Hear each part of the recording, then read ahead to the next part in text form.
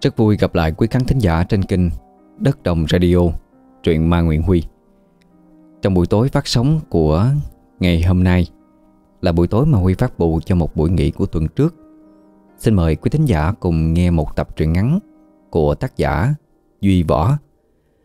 Trước đây thì Duy Võ đã từng đem đến cho chúng ta nhiều tập truyện hay Như là Ác Nhân Sớm Dừa Nước Quỷ Một Giò Reviewer và Ác Quỷ, Tâm Kế Mưu Độc.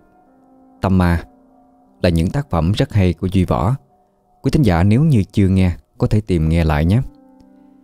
Ngày hôm nay bạn ấy gửi đến cho chúng ta một tập truyện mới, Có tựa đề là Kiếp Trầm Luân. Vẫn là một câu chuyện lấy bối cảnh của miền Tây. Xin mời quý bà con cùng theo dõi.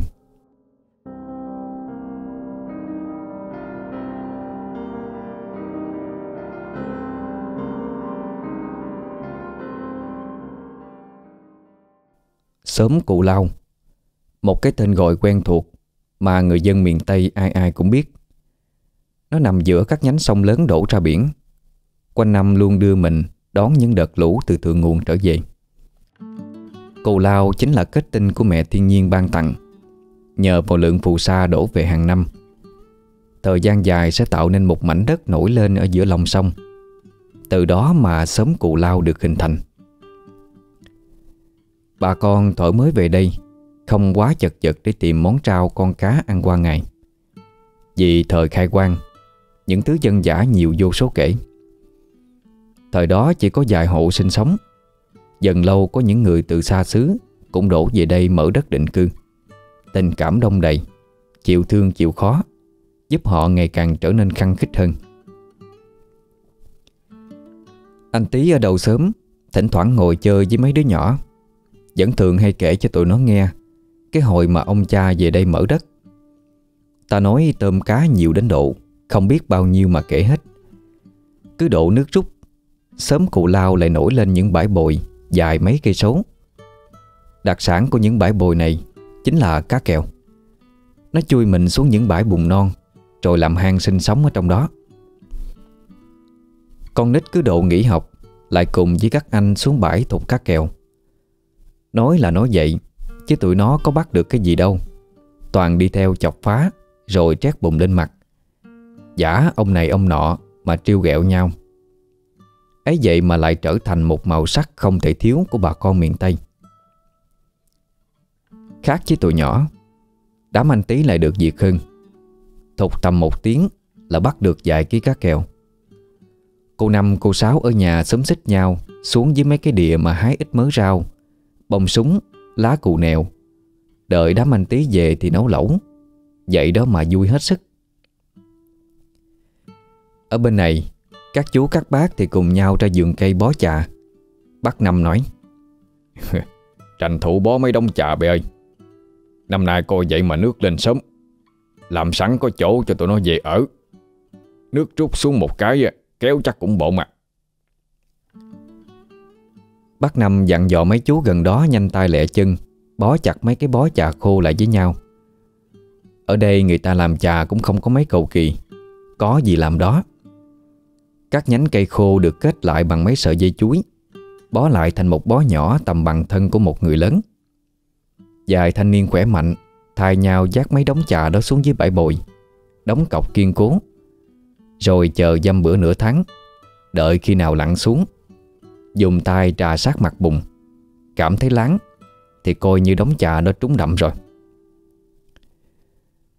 Đến thời điểm thích hợp, Thanh niên trong xóm cù lao bắt đầu đua nhau xuống sông dở trà Một tấm lưới được đan rất kỹ lưỡng, Độ tầm dài chục thước. Cả đám thanh niên chừng 5 người Bắt đầu dùng lưới bao quanh. Phụ nữ trẻ em thì ngồi sát mé mà kêu la hồ hởi. Mất gần nửa tiếng thì đống trà bên trong mới được đưa hết ra bên ngoài Tạo ra một bãi trà mới. Chợt có tiếng la của một thanh niên trong nhóm. Nè nè nè, cô bắt nó lại. Bèn ơi, nó bự quá Chui tọt dưới nước rồi. Thì ra là một con cá lóc độ tầm bắp chân Vừa mới đụng vào chân anh ta. Chụp không được Nên mới kêu la nhờ người tới phụ. Cứ thế mà toàn bộ các gỗ tre Và các dụng cụ thích hợp khác được đưa xuống hỗ trợ bắt cá. Có ông không chịu được, Lặn luôn xuống dưới mà môi mấy con cá mắc lưới lên. Con nào con nấy bự tổ chẳng. Bà con trên bờ thấy tôm cá nhiều, Cũng hồ hởi vui lây. Tổng kết mỗi lần thu hoạch Là vài chục ký cá, Vài chục ký tôm càng xanh. Bà con chụm lại chia phần nhau đem về dùng. Các bác, các chú thì bắt nhanh cái bếp nướng. Ngồi cạnh mé sông, Nhâm nhi vài ly rượu đế. Rồi ngân nga mấy câu họ buồn. Hồi đó ai cũng mê ngón đờn của Sủ Nói tới cậu ta, Ai cũng thương. Vì cậu mất cha từ sớm, Một mình nuôi má vất vả. Thời mai lạc được về cái mảnh đất này, Được bà con xung quanh thương mến, Cậu cũng đỡ buồn tuổi hơn. Mở màn cho bữa nhậu Số đờn mấy nhịp, Rồi hò một câu Mà phụ nữ trong xóm ai cũng dòm. Anh thương anh không dám ngỏ lời. Qua không thương bậu Mà bậu cứ nhớ hoài không quên. Họ tới đây Ai nấy cũng đều tủm tỉm trêu chọc sủ Bác Năm hỏi Ê thằng Sủ Mày thương trộm ma vậy? Mà không dám nói hả? Bữa nay mày đặt uh, hò tỏ tình nữa mày. Dạ đâu có đâu bác Con họ chơi vậy thôi hả Nói xong ai cũng phì cười. Chán chú, chán anh trò chuyện tới tận khuya. Bên trong, Cô lạnh con bác Năm Đứng ngó qua khung cửa sổ, Nhìn sủ vừa đờn vừa hát cho các chú nghe. Lại nói nhà bác Năm cách nhà sủ không xa, Bác có hai người con. Đứa con cái lớn là cô Lành Năm nay vừa tròn 18 Còn cậu trai nhỏ là thằng Mạnh, Ngót nghét cũng 15 rồi. Vợ bác khi xưa mắc bệnh nan y mà mất sớm. Bác phải chật vật lắm mới lo cho hai chị em lành lớn khôn được như bây giờ. Ở hoàn cảnh mà ai nấy cũng nghèo khó, Nên cái tuổi này Tụi nhỏ đều phải bỏ học giữa chừng. Nhậu đến khuya Thì bà con mới rủ nhau ra về. Sủ bước đi loạn choạng, Mắt nhắm mắt mở ôm cây đờn trên tay. Trước khi đi còn quay sang cô lành, Ngó một cái mới chịu dìa. Thật ra mấy câu hò hồi nãy là cậu hò cho lành nghe đó. Chứ ai rảnh đâu mà hò chơi. Cậu thương lành từ hồi cô mới 15 tuổi. Mà tại cậu nhát, Nên không dám ngỏ lời. Thêm nữa, càng ngày càng lớn, Lành càng trổ mã xinh xắn hẳn ra. Không riêng gì sủ Mà cả đám thanh niên khác trong xóm Cũng phải đổ gục trước nhan sắc dịu dàng của lành. Sáng hôm sau Sủ bơi dọc theo kinh nước để giăng câu. Xuồng cậu bơi được một lúc Thì dần đến bến nhà bác Năm. Từ xa đã thấy bóng dáng lạnh đang lúi cuối giặt độ trên mé. Dội bơi xuồng tới để hỏi thăm. Cô lành bữa nay không ra ruộng hả? Dạ không anh Sủ Anh đi đâu mà sớm vậy? Tôi đi giăng câu kiếm mớ cá Để đem lên chợ bán á. Má tôi mấy ngày trở trời Cứ bệnh rề rề hoài. Kiếm mớ cá về đổi thuốc cho má uống Cả hai nói chuyện qua lại. Thì lành nghe tiếng cha gọi, Nên dội từ giả chạy lên nhà. Sủ nhìn theo với đôi mắt đầy tiếc nuối. Càng nhìn anh càng thương cô gái dịu dàng này hơn. Đang miên man suy nghĩ, Thì chợt nghe giọng nói từ trên bờ vọng xuống. Nè anh Sủ Làm gì ngồi ngẩn người ra vậy? Tối nay đi hả cậu không Không ai khác chính là Mạnh, Em trai của Lành. Mạnh vừa nói vừa đi cặp bờ kinh Lần bước theo nhịp chiếc xuồng. Sổ biết ý, Nên cặp xuồng vô mé Cho Mạnh bước lên. Ừ Cũng tính qua rủ em nè. Nước về ờ, tranh thủ kiếm nhiều cá. Nè, Ở dưới đuôi ngoài ngã ba sông Anh nghe nói dưới đó cá về nhiều lắm. Tối nay anh em mình xuống đó đi. Mạnh háo hức đồng ý ngay. Mạnh nhỏ hơn Sủ tận 9 tuổi. Nhưng mà anh em nói chuyện rất là hợp cả. Hệ Sủ đi đâu Thì Mạnh kè kè theo đến đó. Đường nói thì chợt Mạnh tiến tới cái thúng cá của Sủ Sôi cấp lượt, Nó liền chặt lưỡi. Mèn ơi, Anh sát cá quá chừng nha. Mới đi có chút mà đầy thúng rồi. Hên thôi ơi Trúng con nước nên cá nhiều. Chứ có bữa đi tới trưa trời trưa trật, Kiếm được có mấy con cá nhỏ à. Hai anh em cười nói rơm rã, Vang cả một khúc sông yên bình. Được một lát thì họ từ giả nhau, Chuẩn bị cần câu để tối tác chiến. Hệ thống kinh rạch tại xóm Cù Lao rất là chằng chịt, Uốn éo theo đường cong mỹ miều. Nhưng kỳ lạ là tất thải đều chạy ra một đầu, Giao nhau tại ngã ba sông. Ở phía xa xa, Thỉnh thoảng lại thấy những khoảnh nước xoáy vô cùng mạnh, Như ẩn mình dưới đó là một con thủy quái đầy hung bạo. San sát mấy cây bận gian sông. Cá mắm vào đây trú ngụ rất nhiều, Nhất là vô mùa nước nổi. Tối hôm đó, Sửu cùng với Mạnh, Hai thằng cầm chèo bơi thẳng ra ngã ba sông. Trước mũi ghe là cây đèn mang sông, Nó cứ nhấp nhô theo chiều con nước. Đi gần tới sông lớn, Sửu đánh xuồng với một nắm bần gần đó, Rồi nói, Nè Mạnh, Em ở trên này soi đèn cho anh. Cái chỗ này chắc được rồi đó. Để anh cắm thử vài cần coi sao. Mạnh liền chụp lấy cây đèn phía trước mà soi. Sủ cũng lội xuống mé, Dạch từng mảng lục bình nằm kế nhau Mà tìm chỗ cắm câu. Được một lát thì cũng xong. Sủ quay lại xuồng, Rồi cả hai bơi cách xa chỗ đó tầm vài thước chờ đợi.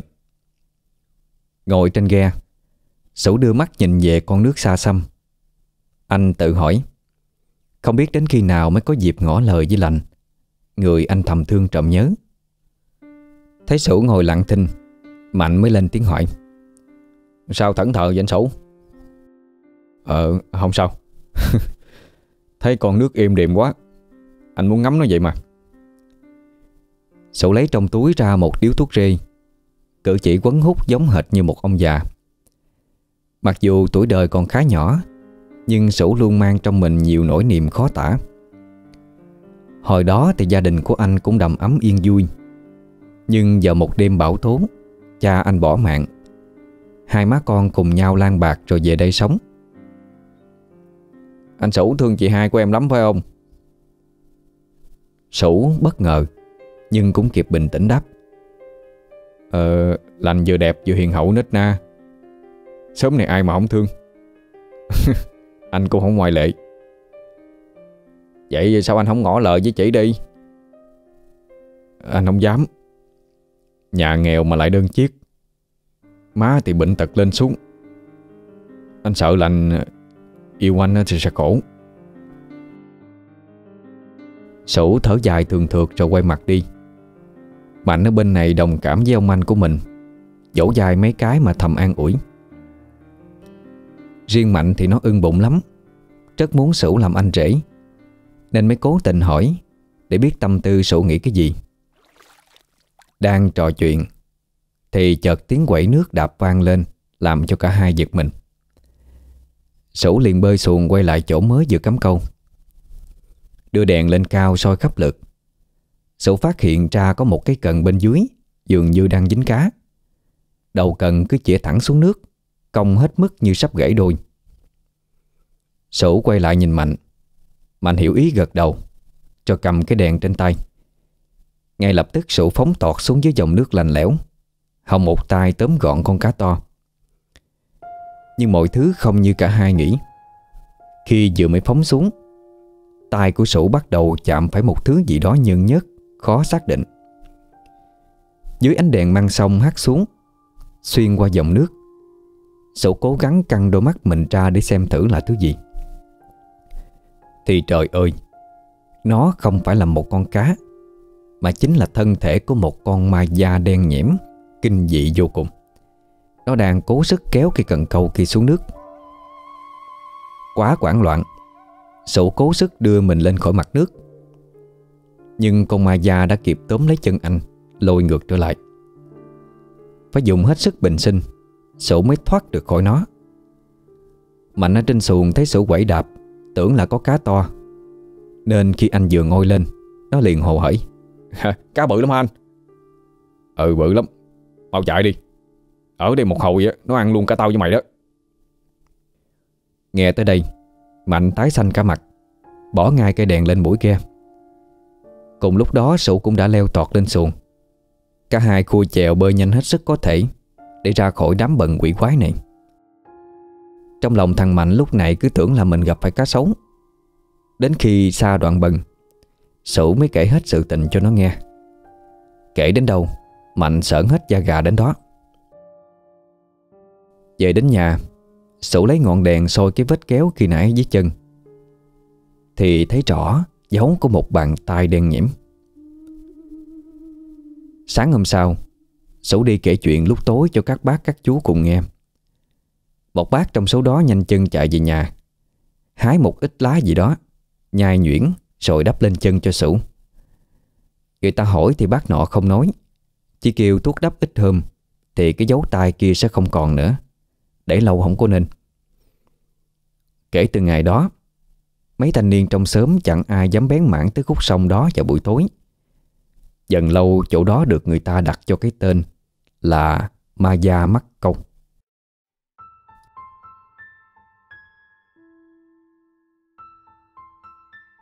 Hết đợt nước lên. Bà con quanh đây không còn sống bằng cái nghề bắt cá, Mà thay vào đó, Họ chuyển hết lên bờ trồng lúa, Đắp bờ làm rẫy. Triên sủ thì vẫn bám trụ với cái nghề sông nước này. Do nhà anh nghèo, Nên kiếm một cuộc đất chọi chim cũng khó, Lấy đâu ra mà trồng trọt như bao người.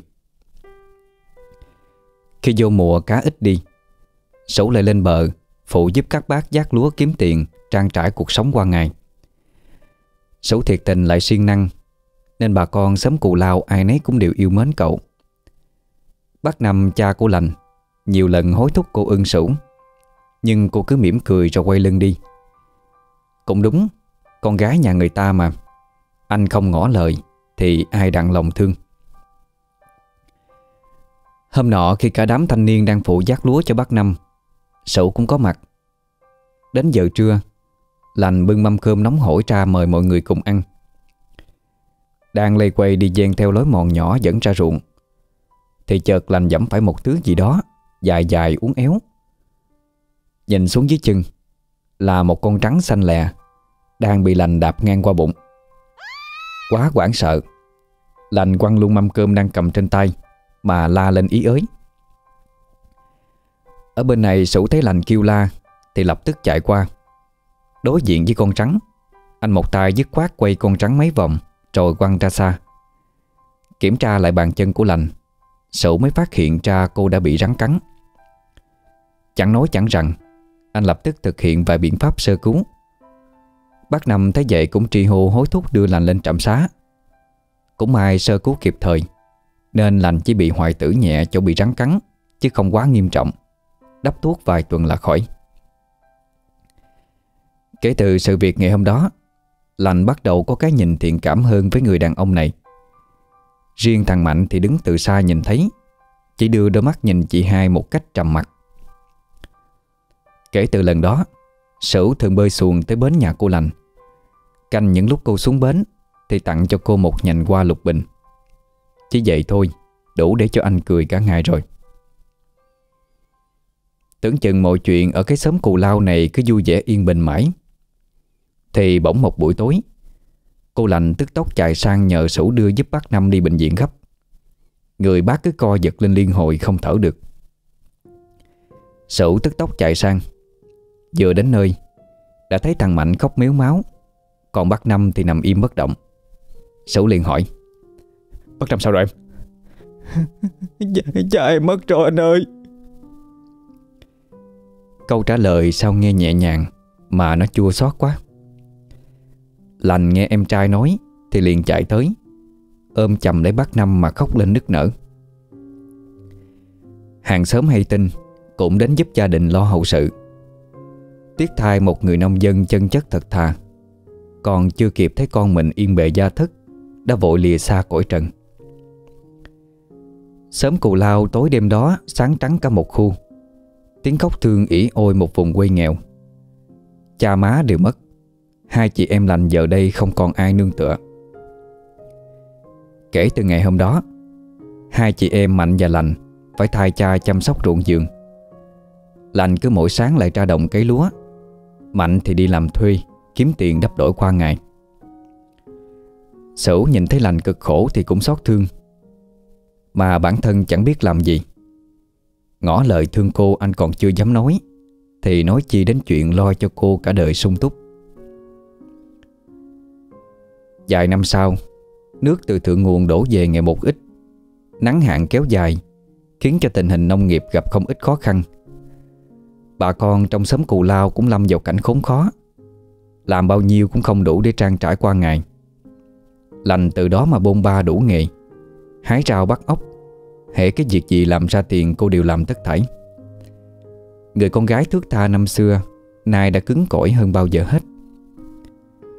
Riêng Mạnh thì mỗi đêm vẫn cùng sủ đi thăm câu bắt ếch Từ đó mà cái ăn cái mặt cũng đỡ hơn nhiều.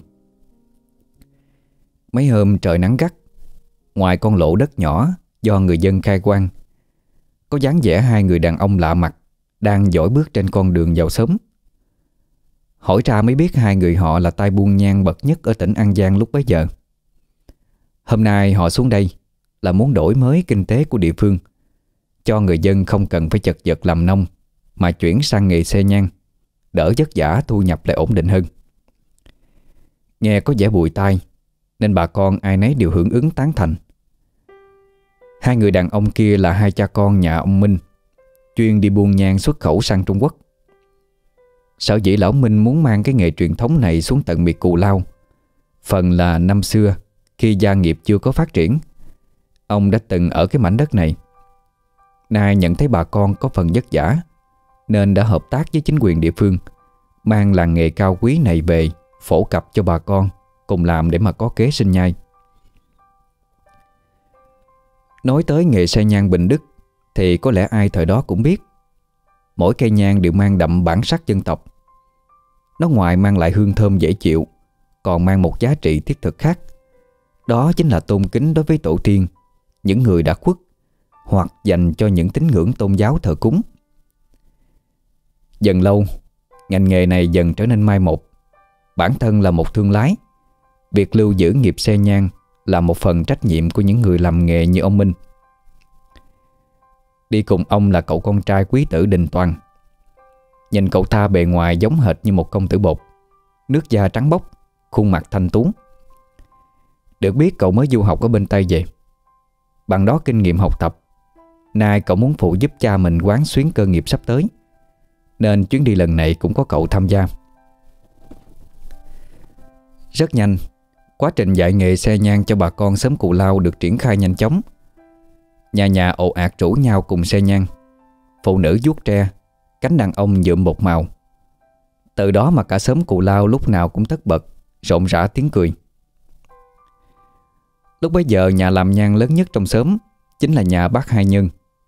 Sau vài tháng hoạt động Nhà bác đã có hơn vài chục nhân công. Trong đó có cả hai chị em lành và sửu. Công việc làm ăn thuận lợi, Lão Minh lại mát tay. Hãy hạn lên xe là hết sạch. Đâm ra cuộc sống của bà con ngày càng được cải thiện. Nói về Sửu, Bao nhiêu năm nay anh vẫn thương thầm cô lành. Thằng Mạnh mỗi lần nhìn thấy cảnh Sửu chăm sóc chị gái mình, Liền trề môi mà chọc. Từ đó bà con trong xưởng của bác Nhân Ai nấy cũng đưa lời chọc kẹo hai người. Từ khi bác Năm mất, Chị em lành đùm bọc nhau sống qua ngày. Phải nói lành là một cô gái chịu thương chịu khó. Nhà cửa trong ngoài đều một tay cô chăm nơm Thỉnh thoảng sổ vẫn hay chạy qua, Phụ giúp lập lại cái mái nhà. Ấy vậy mà một lời thương cho lành, Anh cũng không dám nói. Đêm hôm đó, Mạnh bài cách cho Sửu tỏ tình với lành. Cả hai hẹn nhau ra bờ sông. Biết lành thích nghe đờn. Anh biết ý, Liền mang cây đờn kìm ra đánh vài bài cho cô nghe. Ngón đờn thánh thoát cha giết Khiến cho lành say sưa theo điệu nhạc. Được hồi lâu, Mạnh đang núp trong bụi rậm gần đó, Theo dõi hành động của cả hai. Từng đàn mũi lũ lượt thi nhau hút máu. Chịu không nổi, Nó chửi thầm. Cái cha nội sủ này, Nhát cái gì mà nhát dữ thằng ôn vậy? Hẹn con gái người ta ra bờ sông mà toàn quýnh đợn không à. Gặp tôi là xong nãy giờ rồi. Đang lèm bèm, Thì chợt đằng sau gái của Mạnh, Một luồng hơi lạnh từ đâu phà ra, Làm cho nó sợn tóc gái. Một bàn tay trắng nõn nhẹ nhàng đặt lên vai nó. Ngay sau đó Là cái giọng âm vang khe khẽ phát ra, Làm cho nó thất kinh hồn vía. Vậy mày chỉ nó cách tỏ tình đi. Quay ra đằng sau. Một bóng ma nữ trắng xóa, Bay lấp lửng ở trên đầu. Mạnh tái xanh mặt mày, La ó ôm sợm Khiến cho Sủ và lành giật mình. Nó vừa chạy vừa la, Ma ma ma Sủ ơi, có ma! Hai người liền quay nhìn sang, Thì thấy thằng Mạnh đang chạy, Nhưng nào có thấy cái gì đâu. Sáng hôm sau, Mạnh đem chuyện lạ hôm qua Kể cho cả xưởng cùng nghe. Một bác lớn tuổi gần đó Liền cất tiếng thở dài. Ơi gặp ma là đúng rồi. Hồi bác bằng tuổi tụi bay đó Cái chỗ đó có một cái xác nữ. Không biết quan ức gì đó. Mà lội ra cù lao này treo cổ trên cái ngọn bần rồi chết. Sau người ta khai quang mới phát hiện Thì chỉ còn bộ xương khô thôi. Ông bác nói xong Ai nấy cũng đều thất kinh Mạnh nghe cũng nổi da gà. Triền sủ thì nét mặt buồn hiu. Chưa kịp tỏ tình đã bị thằng Mạnh phá đám. Cứ cái đà này thì không biết khi nào mới thoát cảnh ế đây.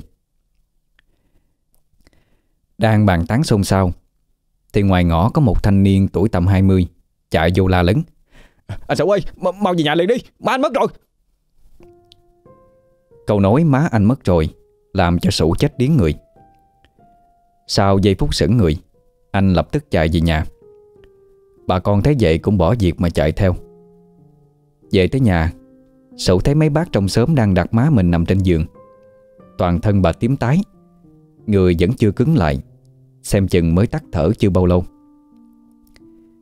Bác Tư tiến tới dỗ dài cậu an ủi. Hồi nãy bác tính qua xin má bày ờ, ít đọt quế Mà vừa mới tới sân, Thấy má bày nằm ngay trước cửa. Mới chạy lại coi coi bả biển sao. Thì à, Thôi bay bớt đau thương. Má bị bệnh rề rề đó giờ. Ra điền vậy cũng khỏe thần bác Sủ tiến tới gần. Đôi tay chai sần chạm vào má mình. Cố giữ những giọt nước mắt không để rơi xuống. Anh nghẹn ngào nói. Hồi cha mất Con hứa với má. Sẽ gắn làm để lo cho má có cuộc sống đàng hoàng. Vậy mà hơn 10 năm nay, Con chưa cho má sung túc được ngày nào. Con tệ quá hả má? Má ơi, con bất hiếu. Nên má đi mà không thèm nói với con tiếng nào hả má? Hàng xóm mỗi người một tay, Phụ sủ lo chôn cất cho má cậu đàng hoàng. Lành và Mạnh cũng có mặt. Hai người thay phiên ở bên cạnh, An ủi sủ Để vơi bớt đi nỗi đau quá lớn này. Mạnh nó nhiệt tình lắm, Chạy đôn chạy đáo lo hết mọi chuyện. Còn lành thì phụ cậu lo hương khối Cạnh chiếc áo quan lạnh lẽo Đặt ở giữa nhà. Chiều hôm sau, Bà con cùng nhau đưa người phụ nữ nhiều năm gian khó nhọc nhằn Về với vùng đất bình yên. Một vùng đất không còn những điều bi ai khổ ải nữa. Mất má Sủ ngày nào cũng trong tâm trạng buồn bã. Lành động viên anh. Anh Sủ uống miếng nước đi. Sinh lão bệnh tử đời người á, Thì không có tránh khỏi được. Cha má em với cha má anh nữa. Hành trình của họ hết rồi. Mình cố cưỡng cầu cũng không thay đổi được gì. Cố sống lạc quan, Để không phụ lòng cha má nha anh. Lành nói với cái giọng thật thà lắm. Khiến cho Sủ nghe qua thì sao xuyến vô cùng. Anh quay sang nhìn người con gái Mà bao nhiêu năm anh theo đuổi. Định bụng mở lời nói cái gì đó Thì lại bị thằng Mạnh phá đám. Chị Lan ơi Bác Nhân kêu chị đi vô trong có việc mà cần bạn kìa. À vậy hả? Chị vô liền. Lành ngồi dậy Phổi quần mấy chập rồi chạy nhanh vô nhà. Mạnh cũng ngồi xuống đó Chẳng nói chẳng rằng mà nhìn anh Sửu lại nói bác Nhân kêu lành Và một số chị em phụ nữ khác vô nhà Là ý có gì cần bạn à, ờ, bác nghe anh Minh nói sắp tới Sẽ có lô hàng à, chuyển qua Trung Quốc. Đơn hàng lần này cần đạt chất lượng cao. Tiêu chuẩn của từng bó nhang Phải theo ý khách hàng. Nên cần một vài chị em lên tận Bình Đức Học hỏi thêm kinh nghiệm Để mà cơ sở của chúng ta nắm bắt được quy trình sản xuất. Để mà cho ra những đơn hàng phù hợp. Quá trình học nó kéo dài tầm 2 tháng. Mọi người thấy sao? Suy nghĩ kỹ đi rồi cho bác hay. À Ai đi đợt này á, Thì sau khi về lương cũng sẽ được tăng lên gấp nhiều lần đó. Lành và mọi người nghe qua thì có chút chần chừ. Nhưng nghĩ lại, Nếu như thuận lợi mang được kỹ thuật mới về cho sớm nhà, Thì quá tốt chứ sao? Nên là ai nấy cũng đều gật đầu đồng ý. Sửu sau khi biết tin lành sắp đi xa, Thì lòng buồn mang mát. Trước giờ anh chưa từng xa lành lâu như vậy, Biết được nỗi lòng của anh Lành nói. Anh Sửu ở nhà đừng có nhớ má nữa nha. Em đi hai tháng rồi em về nhanh mà. Ừ Em đi mạnh dội Lên đó ăn uống điều độ, Giữ sức khỏe. Chứ không lại bệnh. Nói xong, Sửu đưa tay ra sau lưng, Lấy một nhánh bông lục bình chuẩn bị sẵn, Tặng cho lành. Định bụng đưa bàn tay trung rung của mình lên, vuốt lấy mái tóc ống ả của cô. Thì lại bị thằng Mạnh chen vô phá đám một lần nữa. Nó chạy ra kêu lành vô nhà có việc gấp. Mấy ngày sau, Một con thuyền lớn neo đậu ở dưới mé sông lớn. Đứng trên thuyền là một thanh niên trẻ tuổi, Mặt mày sáng láng, Trông rất lịch lãm. Người đó không ai khác chính là Toàn, Con trai của Lão Minh. Hôm nay cậu ta phụ trách đưa mọi người đi. Toàn nhẹ nhàng đỡ từng người lên thuyền. Đến lượt của lành, Cô hơi e dè khi phải nắm tay người đàn ông lạ mặt. Toàn biết ý, Chỉ cười đưa tay làm động tác mời cô lên. Ngập ngừng hồi lâu, Lành mới đưa bàn tay nhỏ nhắn của mình ra Để cho Toàn nắm lấy, Nhẹ nhàng dìu lên thuyền. Sửu lúc này đứng cùng với một số người trong xóm, Nhìn theo đoàn người bên dưới. Trong lòng anh bỗng có một chút gì đó bất an vô cùng. Tiếng máy nổ làm cho Sửu thoát khỏi dòng suy nghĩ trong đầu.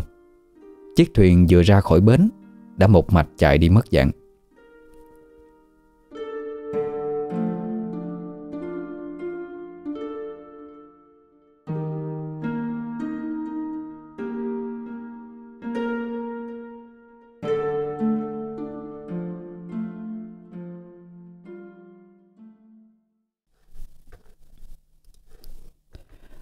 Mất nửa ngày, Thì đoàn người của lành cũng đã đến nơi.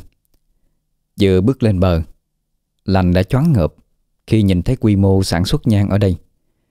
Quả thật là rộng lớn vô cùng, Lớn hơn nhiều so với những gì cô thấy Ở Cù Lao sớm mình. Toàn có mặt, Nhanh chân đưa mọi người đến nhà khách Để sắp xếp chỗ ở. Riêng lành thì được cậu chăm sóc kỹ hơn những người khác. Nè, Cô tên là gì? Toàn ghé sát vào tay lành mà hỏi nhỏ. Lành cũng lịch sự trả lời. Um, Tôi tên Lành. Còn anh? Tên cô nghe dịu dàng lắm. Tôi tên là Toàn. Cô ở đây có cái gì bất tiện á Thì cứ gọi cho tôi. Đừng có ngại gì hết. Cứ coi như đây là nhà của mình. Thấy con trai của một ông chủ lớn Mà có vẻ thân thiện Làm lành cũng bớt đi cảm giác ngột ngạt. Sắp xếp chỗ ở xong Toàn bắt đầu dẫn mọi người xuống xưởng làm nhang xem xét quy trình. Mọi thứ ở đây rất là công nghiệp. Hầu hết họ đều dùng máy móc là nhiều. Nhưng kỹ thuật thì phải nói là tuyệt hảo. Đi đến đâu, Toàn giải thích cặn kẽ đến đó. Lành chăm chú đưa mắt lắng nghe. Lòng thầm cảm phục chàng trai trẻ này thật sự quá tài giỏi. Chỉ mới phụ giúp lão Minh vài năm thôi, Mà toàn bộ kỹ thuật Như được cậu nắm trong lòng bàn tay những ngày ở nơi xứ lạ, Lành được Toàn chăm sóc chu đáo. Nhiều lần Toàn có ý muốn tìm hiểu cô gái dân quê này, Nhưng bị Lành từ chối. Dẫu gì bấy lâu nay, Cô vẫn đợi một lời tỏ tình từ anh Sửu. Thế vậy, Toàn cũng không cố chấp mà làm phiền nhiều đến cô gái còn non nớt này. Lại nói Sửu nhiều ngày vắng bóng lành, Cộng thêm má mới mất, Cho nên lúc nào cũng buồn thiểu buồn thiêu. Thỉnh thoảng lại mang cây đờn kiềm ra đánh vài bản du dương đến não lòng. Giai điệu phát ra đến đâu, Thì cảnh vật cũng sầu theo cậu đến đó. Mạnh không có chị hai ở nhà, Nên cũng chuyển qua nhà Sửu ăn cơm. Tiện thể nấu luôn phần cơm cho Sửu. Phụ nữ trong xưởng đi hết. Tất cả các thanh niên liên tục mở bàn mà nhậu nhẹt, Những lúc về đêm, cho đỡ sầu. Đang nhậu ngon lành, Thì một anh trong bàn nảy ra ý kiến. Nhậu không thì chán quá. Hay là mình kể chuyện ma nghe đi. Ai biết gì kể đó. Thằng nào xa nhà, thằng đó chịu thiệt. Chơi không? Nghe anh nọ nói cũng có lý. Ai nấy đều hí hửng tham gia. Anh Hoàng là người mở màn trước. Hàng loạt những câu chuyện ma mị Được các anh kể lại rất sống động. Tăng Mạnh ngồi bên cạnh sủ nghe qua, Mà người rung lên cầm cập. Cứ nép sát vào người anh. Ra chiều tránh né. Chợt bác Nhân từ trong nhà đi ra Cất cái giọng trầm trầm. Tụi bay à, muốn nghe. Bác kể chuyện con ma ở trên cây bận Con ma từng nhắc thằng Mạnh không? Nghe bác nhắc chuyện hôm trước Mạnh giật nảy mình. Những người còn lại liền phản ứng thích thú vô cùng. Tay chống cầm mà chờ bác Nhân Ừ Năm đó đó Có cặp trai gái yêu thầm nhau. Thanh niên đó lúc nào cũng kè kè sát cô gái. Nhưng mà mấy năm vẫn không chịu ngỏ lời. Vậy là cô ta quất ức quá Mà treo xuồng ra tận đây để mà treo cổ chết. Thấy ghê không? Bác Nhân kể tới đây Thì ai nấy cũng đều phá lên cười. Sau đó lại đưa mắt nhìn sang Sủ mà trêu ghẹo.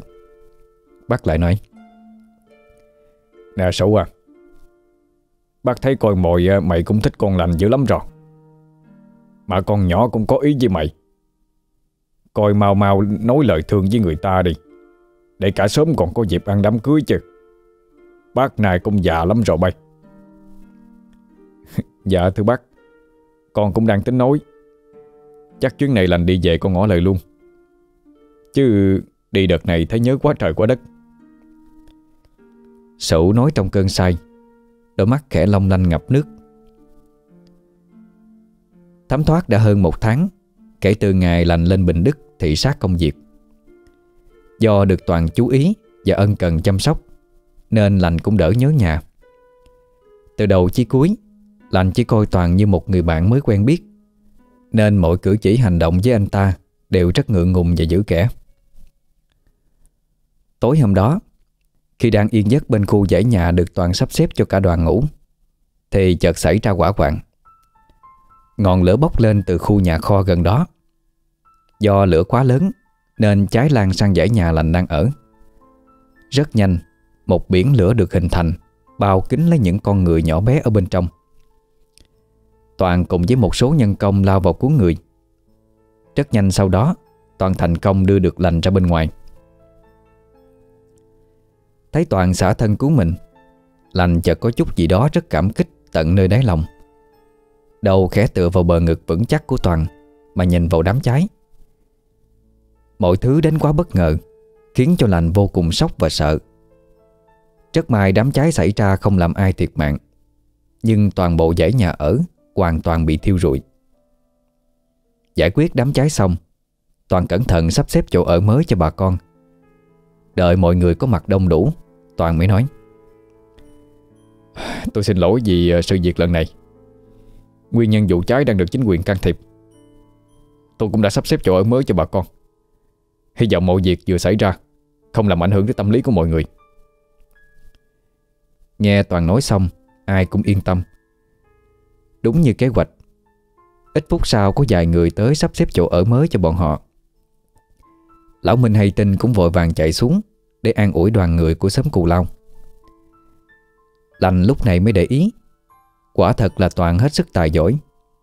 Ở cạnh anh, Làm cho cô có một cảm giác hết sức an toàn. Cảm động hơn là Anh đã liều mạng xông vào đám cháy Để cứu cô thoát khỏi biển lửa Chỉ trong gan tấc. Về căn phòng mới được Toàn sắp xếp, Lành cố gắng quay lại giấc ngủ. Nhưng nằm mãi không sao chợp mắt được.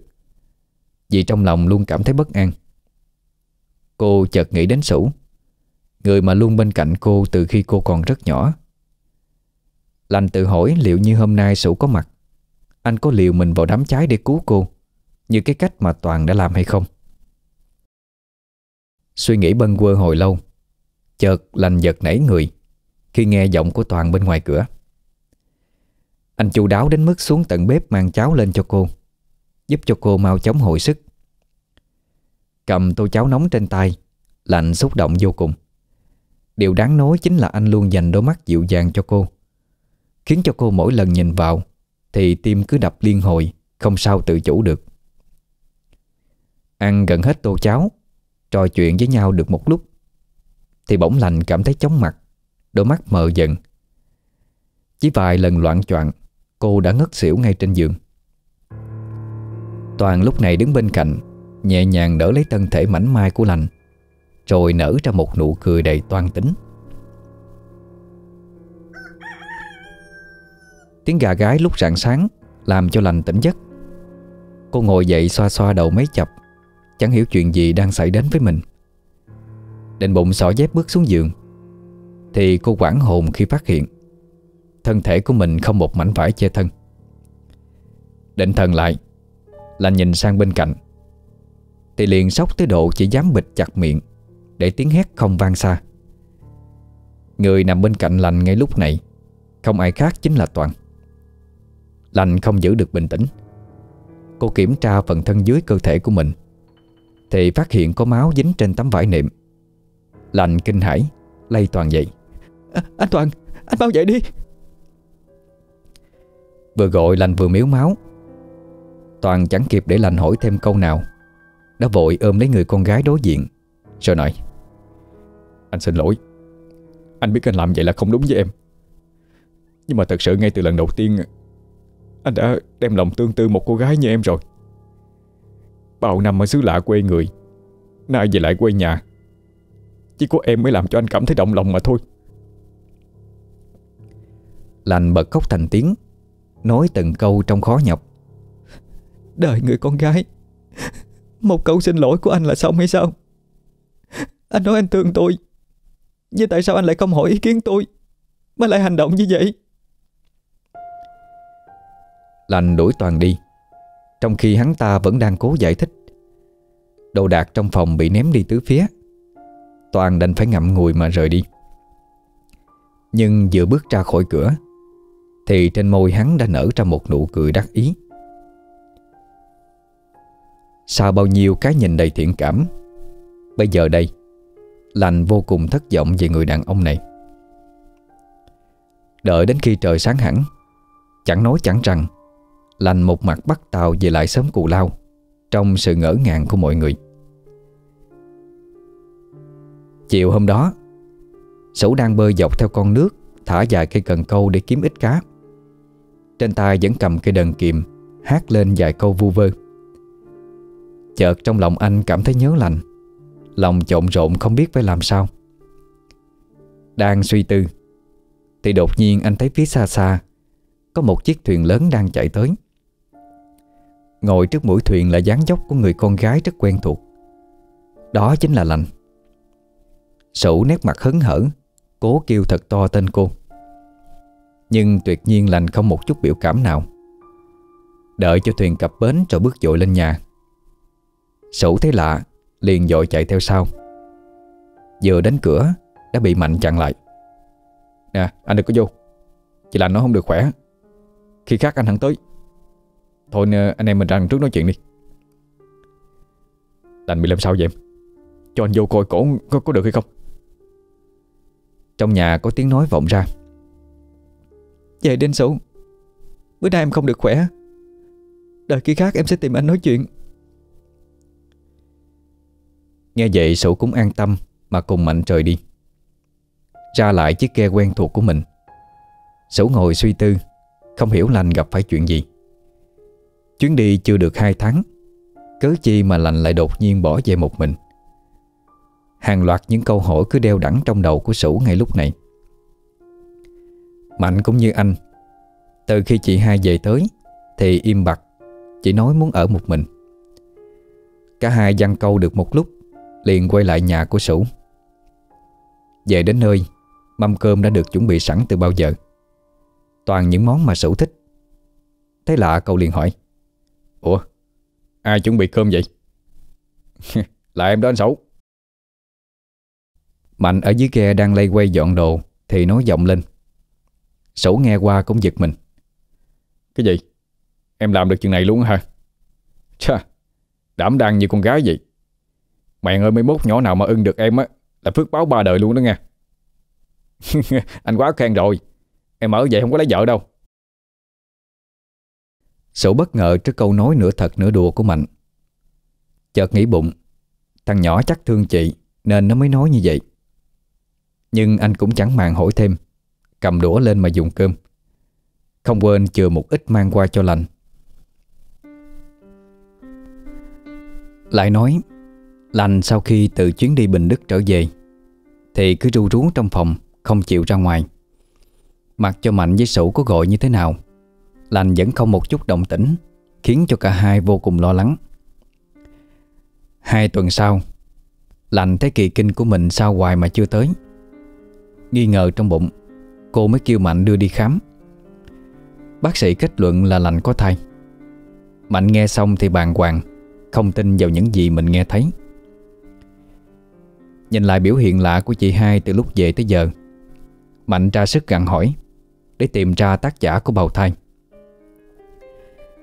Phải mất lâu lắm, Lành mới kể hết sự tình cho em trai nghe.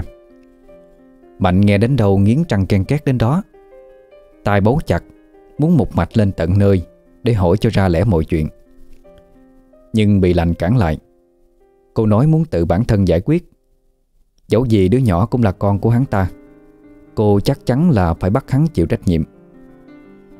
Mạnh liền nóng nảy nói, Vậy còn anh xấu Chị định nói với anh như thế nào? Anh xấu thương chị từ trước tới giờ, Cả sớm này cũng biết mà. Để chị nói chuyện với anh xấu Mọi chuyện dở lỡ như thế này, Chị cũng rối quá Mạnh ơi. Nhìn thấy chị hai của mình như vậy, Mạnh cũng chẳng nỡ nói thêm. Dìu chị xuống ghe, Rồi một mạch bơi về nhà. Kể từ ngày hôm đó, Lành lại tiếp tục nhốt mình trong nhà, Chẳng chịu gặp ai. Sửu vì thương nhớ cô, Nên tìm mọi cách để gặp mặt, Nhưng mọi nỗ lực đều bất thành. Bí bách Sửu mới tìm đến Mạnh hỏi thăm. Nhưng giống như chị mình, Mạnh tuyệt nhiên không hé răng nửa lời, Toàn là lãng tránh sang chuyện khác. Đoàn người được bác Nhân cử đi cũng đã trở về. Hoàn thành xong công tác thực tập trong 2 tháng. Cả sớm lại một lần nữa rộn ràng Khi kỹ thuật mới vừa được nâng cao. Về đến nơi, Nhưng không thấy lành tới làm. Ai nấy cũng đều thắc mắc. Nhưng chỉ nghe được một câu từ Mạnh. Cậu nói chị mình bị bệnh. Không khỏe nên nghỉ phép. Nghe vậy thì mọi người cũng yên tâm, Chẳng nghi ngờ gì hết. Triên sủ thì lòng băn khoăn Vì nhiều ngày không gặp được người mình thương, Khiến cho anh dần mất tập trung hơn vào công việc. Có lần sổ còn làm hư cả một lô hàng, Khiến cho tiến độ làm nhang bị trễ nải. Bác Nhân thấy vậy thì bực mình, Mà cho anh nghỉ tận mấy ngày liền Mới cho vô làm lại. Thời gian được nghỉ Chẳng biết làm gì. Sủ lại lê la khắp các bãi bần ven sông để cắm câu. Đi đến tận khuya, Cũng chẳng biết gặp phải chuyện gì, Mà chẳng thấy tâm hơi Sủ trở về nhà. Mạnh nóng lòng, Nên dội cầm đèn mà đi kiếm. Chạy dọc theo bờ kinh, Mạnh liên tục gọi tên Sủ, Nhưng tuyệt nhiên chẳng thấy động tĩnh gì. Khi đến gần bãi bần, Mà khi trước cả hai bị con ma nữ nhát cho tái xanh cả mặt Mạnh có chút e dè. Nhưng vì lo lắng cho người anh của mình, Cậu liền làm liều, Tiến vào xem thử. Dưới con sông từng mảng lục bình kết lại với nhau, Nhấp nhô trong làn nước tĩnh lặng. Cạnh đó còn có một chiếc ghe được neo đậu. Mạnh lờ mờ đoán ra được là ghe của Sửu, Liền dội chạy tới xem. Đưa cây đèn lên cao. Mạnh thấy Sửu đang nằm bất động trên ghe. Nó liền phóng nhanh xuống dưới dòng nước lạnh lẽo. Bơi ra phía sủ. Ra đến nơi cố lay người sủ dậy, Nhưng chẳng thấy động tĩnh gì. Không còn cách nào, Mạnh đành một mạch bơi ghe về. Từ dưới bến, Mạnh liên tục gọi tên chị Lành ra cứu. Lành đang nằm bên trong, Cũng tức tốc chạy ra xem. Vừa gặp, Lành liền hỏi, Trời ơi, anh Sửu bị sao vậy? Em không có biết nữa, Nằm bất tỉnh cũng lâu rồi đó. Người nóng hổi à Chắc là bị trúng gió rồi. Mau đưa anh Sủ vô nhà đi Kéo không kịp đó. Hai chị em lật đật đưa Sủ vô nhà. Sau một hồi sơ cứu khắp lượt, Mặc dù Sủ chưa tỉnh hẳn, Nhưng Mạnh đoán chắc anh đã qua cơn nguy kịch, Mới dám thở phào ra một hơi Mà đi ra ngoài. Xuống bếp nấu một tô cháo nóng. Lành trong này liên tục thoa nước nóng lên người, Giúp cho Sủ hạ sốt. Trong cơn mê sản Sủ liên tục gọi tên lành. Khiến cho cô vừa lao, Vừa cảm thấy nghẹn nơi cổ họng. Đến khi Sủ tỉnh lại, Vừa mở mắt ra đã thấy lành ân cần chăm sóc cho mình. Anh chụp dội lấy cánh tay của cô. Định bụng hỏi lý do gì Mà mấy bữa nay cô luôn tránh mặt anh. Nhưng không để cho Sủ dò hỏi, Lành đã dội bước ra ngoài. Mạnh lúc này cũng kịp thời có mặt, Tra sức ngăn anh lại. Nè, anh vừa mới tỉnh lại. Đừng có đi nhiều. Có chuyện gì để lúc khác rồi nói. Ăn miếng cháo cho lại sức đi. Thời gian thấm thoát lại trôi qua nhanh chóng. Mọi thứ vẫn bình yên trên xóm Cù Lao. Nhưng với lành, Mỗi ngày qua đi, Cô đều thấy rất tâm tối. Hoàn toàn không nhìn thấy được ánh sáng nào ở phía trước. Cái thai trong bụng đã ngày một lớn dần. Là nhiều lần muốn bỏ đi đứa con, Nhưng nghĩ lại đó là cốt nhục của mình, Rồi cũng đành thôi. Mỗi đêm lành đều nhớ tới khuôn mặt sở khanh của tên Toàn, Mà lòng căm hận hắn ta. Còn Sủ thì luôn vẫn cố tìm cách để gặp lành. Tối hôm đó Sủ nặng nặc muốn gặp cho bằng được lành Để hỏi rõ mọi chuyện, Mặc cho Mạnh hết lời can ngăn. Lành nghe thấy bên ngoài ồn ào Thì biết ngay là Sủ Cô liền nói, Mạnh à Em cho anh Sủ vô đi. Nghe được câu này Sủ vui ra mặt. Chạy thẳng vào bên trong. Qua ánh đèn dầu được đặt ở giữa nhà, Sửu nhìn thấy rõ khuôn mặt xanh xao của lạnh, Lòng xót xa vô cùng. Do đang mang thai, Lại ở suốt trong nhà, Nên thần sắc lúc này của cô rất khó coi. Lạnh biết bản thân mình không thể giữ im lặng mãi như thế này, Càng làm khổ thân người yêu mình hơn, Nên cô quyết định nói hết mọi chuyện cho Sủ nghe. Sủ khuôn mặt liền tối sầm lại. Tay dùng sức đấm mạnh vào nền nhà nghe chát chúa. Anh gằn giọng. Khốn kiếp mà. Thằng chó đó dám làm nhục em. Anh phải giết nó. Số ngồi bật dậy toan chạy ra ngoài. Nhưng bị lành kịp thời kéo lại. Anh Sửu à Anh không làm được gì thằng đó đâu. Tới đó làm lớn chuyện, Không khéo lại chút quả vào Tân Dù gì hắn cũng là cha của đứa bé mà. Nghe hai từ đứa bé.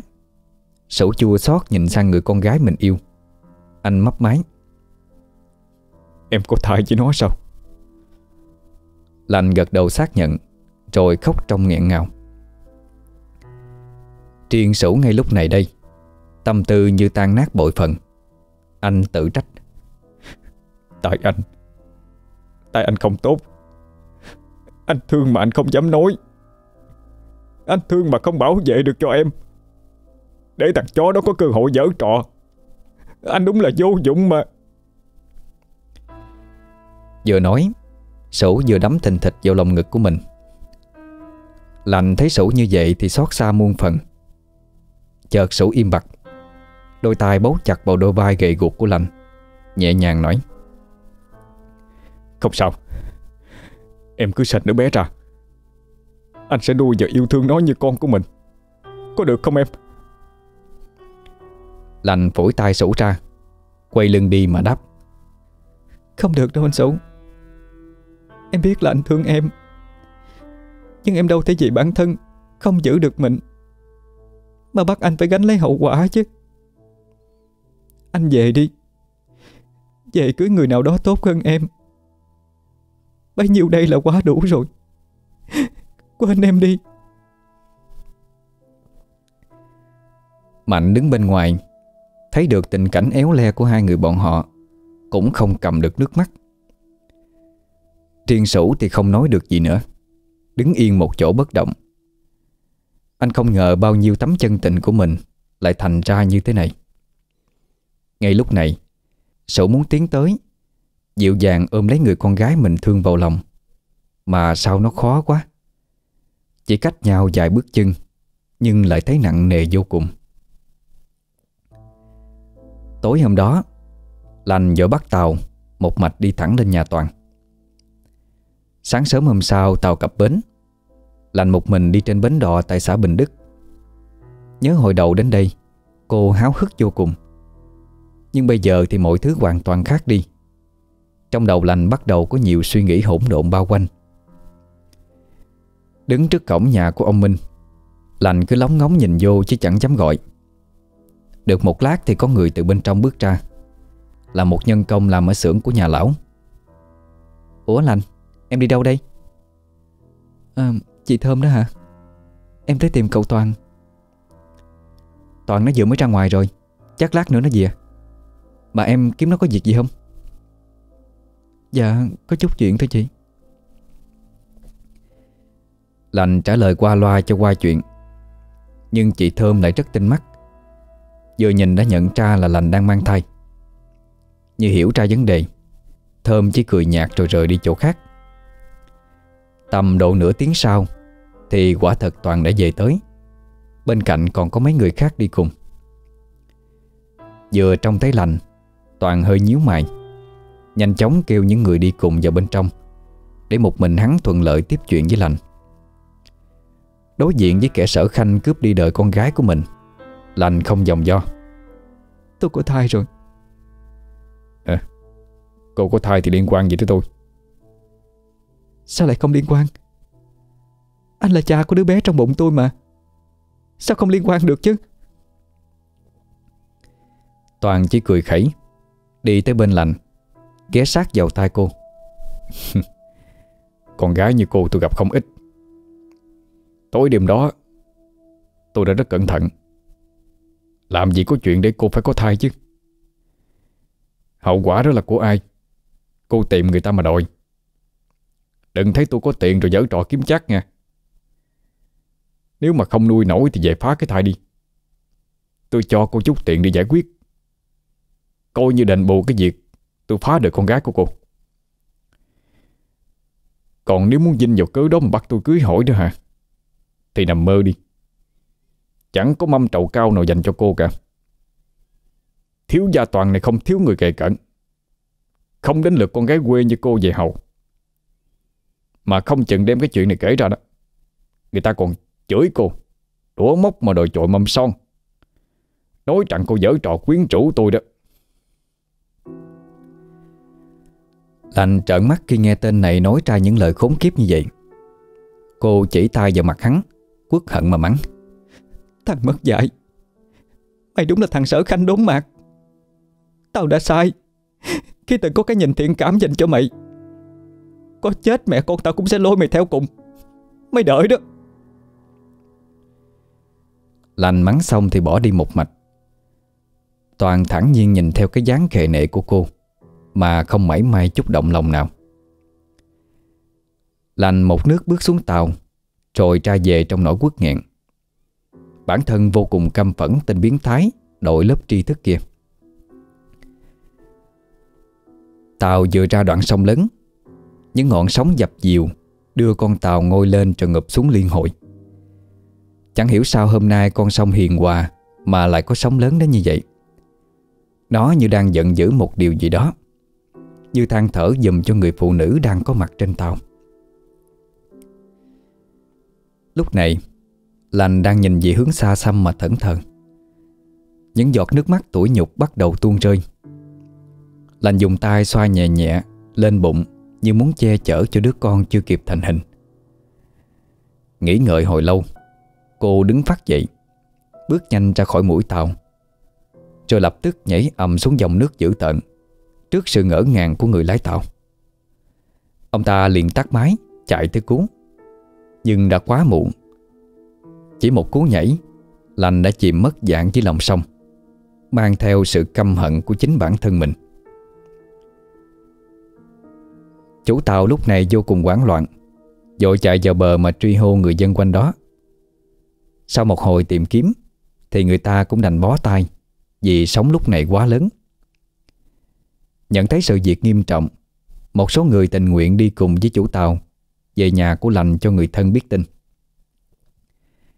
Vậy là chiếc tàu bắt đầu tiến thẳng tới xóm Cù Lao, Mang theo tin dữ trở về. Mạnh và Sửu lúc này đang ở trên nhà, Làm mấy con cá rô đồng vừa mới bắt được. Thấy chiếc tàu chở chị gái mình về tới, Mạnh hớn hở chạy ra. Định bụng sẽ dìu chị lên bờ Mà khoe khoang chiến tích. Nhưng chỉ bước được vài bước, Mạnh bỗng khựng người lại. Vì người bước lên không phải là lành Mà là ông chủ tàu hay chạy qua bến này. Cậu Mạnh à Chị gái cậu nhảy sông tự dẫn rồi. Mau theo bọn tôi ra khúc sông đó tìm xác đi. Nghe đến đó Mạnh nghiêng ngã đứng không vững. Chân nọ đá chân kia Loạn choạng bước lên tàu. Còn Sửu thì từ trong nhà bước ra Trên tay vẫn đang cầm rổ cá. Nghe được tin dữ Anh đánh rơi luôn cái rổ xuống đất rồi chạy tới cùng với Mạnh và mọi người, Chạy ra đoạn sông lúc nãy. Bà con sớm cù lao Sau khi nghe tin cô gái tội nghiệp nghỉ quẩn quyên sinh Ai nấy cũng đều xót xa thương cảm, Hè nhau cùng ra đoạn sông lớn để mà vụ tìm kiếm. Mất gần 3 ngày trời, xác của lành mới được bà con tìm thấy. Chẳng hiểu như thế nào, Mà thi thể của cô trôi đúng vào đám bận Có cái dòng ma nữ đang ngự. Mạnh và Sủ sau khi nhận thi thể của lành Thì khóc không thành tiếng. Tội nhất vẫn là Sủ Chẳng hiểu anh làm gì nên tội tình, Mà trời bắt ép từng người anh yêu thương phải bỏ mạng. Chẳng phải anh nói sẽ chăm lo cho mẹ con của họ hay sao? Sao lành không nghĩ cho anh chút nào vậy? Sủ vừa khóc, Vừa trách kiếp người sao quá đổi trầm luân. Riêng Mạnh thì từ khi hay tin chị gái mất, Gương mặt lúc nào cũng u ám Lấn ác đi nỗi đau thương. Mạnh từ ngày hôm đó cũng trở nên trầm tính hơn. Mọi thứ trong nhà đều do một tay cậu xử trí. Mọi thứ bình yên cho đến ngày thứ 49 của lành. Bà con lại một lần nữa Đến nhà phụ giúp Mạnh một tay, Cúng thất cuối cùng cho cô gái xấu số. Bác Nhân chủ xưởng nhang Và mấy bác lớn tuổi quanh sớm Luôn túc trực an ủi Mạnh. Để cậu có thể dơi bớt nhẹ đi nỗi đau trong lòng. Lúc này bác Nhân bắt đầu nhìn quanh khắp lượt Nhưng lại không thấy bóng dáng sủ đâu. Bác mới hỏi Ủa thằng Sủ nó đi đâu rồi bay? Dạ tối qua anh Sủ có ngồi uống rượu với con Nhưng mà sáng nay đâu không thấy nữa. Bác Nhân tra chịu khó hiểu Chợt có tiếng bên ngoài nói giọng vô. Lại Anh Sủ đây nè bác ơi Nhìn thẳng ra hướng trước nhà. Sủ đang từ con lỗ lớn đi vô. Trên tay cầm một nhánh qua lục bình thơm ngát. Ai nấy cũng đều nhận ra. Sáng giờ Sủ không có mặt là vì lý do này. Anh biết lành thích qua lục bình, Nên bữa nay anh dành cho cô một đóa hoa thật đẹp, Chứng minh cho tình yêu của anh dành cho cô. Đi qua đoàn người đang đứng Sủ bước loạn choạng vô nhà. Người toàn mùi rượu. Miệng cứ cười cười nói nói một cách đầy khó hiểu. Rồi tiến tới tấm di ảnh của cô gái Đặt bó hoa lên trên bàn. Anh lè nhẹ nói Hoa lục bình thơm ngát trời xanh. Em có thấy nó đẹp không? Đẹp như thuở xuân xanh Của người con gái anh thương vậy đó. Nói xong Sủ cười lên ngây dại Rồi dội bước ra ngoài Chẳng thèm mảy may quan tâm đến mọi người xung quanh. Ai nấy đều lắc đầu, Thương thai cho một mối tình gian dở Của hai con người tội nghiệp. Mạnh nhìn theo bước đi của Sủ Mà ruột gan nóng như lửa đốt. Cậu cũng không hiểu chuyện gì, Rồi quay lại vào bên trong, Lo cho xong bữa cúng cho chị hai. Trên con sông lớn của buổi chiều tà Ở xóm Cù Lao, Một chiếc xuồng ba lá đang dập dịu theo con nước lớn. Tiếng cua chèo quẩy nước Như đang khóc thương vì một điều gì đó sắp diễn ra. Người ngồi trên ghe là Sủ Cùng với cây đờn kìm bao năm dẫn theo cậu. Chứng kiến tất thảy mọi chuyện Sủ vừa uống rượu, Lại vừa đờn vừa lại hát. Anh hát cho cuộc đời của mình, Hát cho người con gái mà anh thương. Sao nỡ bỏ anh lại một mình? Giọng điệu da diết từ cây đờn kìm, Nghe qua mà não lòng. Ghe vừa đến chỗ đám bần, Nơi đã tìm thấy xác của lành, Thì đột nhiên ngừng lại. Sẩu cầm trên tay chai thuốc rầy, Hớp một ngụm dứt khoát, Rồi tiếp tục trải đờn, Ngân nga tiếp một câu hát. Thâm thẳm khuya, Lòng đau đáo lời tự tình, Đêm ngã nghiêng Đèn khuya hắt bóng mỗi trong. Từ đó quan du, Đàn ai não nề tương tư. Đàn khóc thương dây, Rồi mai bóng đời muộn phiền. Đổi thay ân tình Từ kiếp nợ trần. Mảnh đời gian dối lừa nhau, Ai mặc ai Dí dầu tình tan Câu hát vừa dứt cũng là lúc sợi dây đờn kìm cũng đứt theo. Số dừng tay, Ngó cây đờn một chập, Rồi rơi dội một giọt nước mắt. Giọt nước mắt rơi thẳng xuống sợi dây đờn vừa mới đứt. Giọt nước trong suốt Chạm vào dây, Chia đôi dòng lệ sầu. Rồi số hạ cây đờn kìm trên tay xuống, Ngã người về phía sau, Mắt nhìn lên bầu trời đêm. Miệng mỉm cười, Rồi không còn thở nữa đang quạ đậu trên ngọn bần. Thấy tình cảnh trước mắt, Thì kêu lên ai quán. Như tiếc thương trước sự ra đi Của một kẻ nặng tình.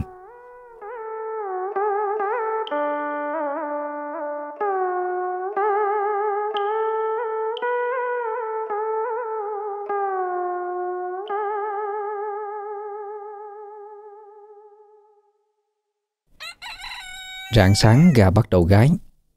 Sớm cụ lao lại náo nhiệt như mọi ngày. Người thì đi làm Kẻ thì đi chợ.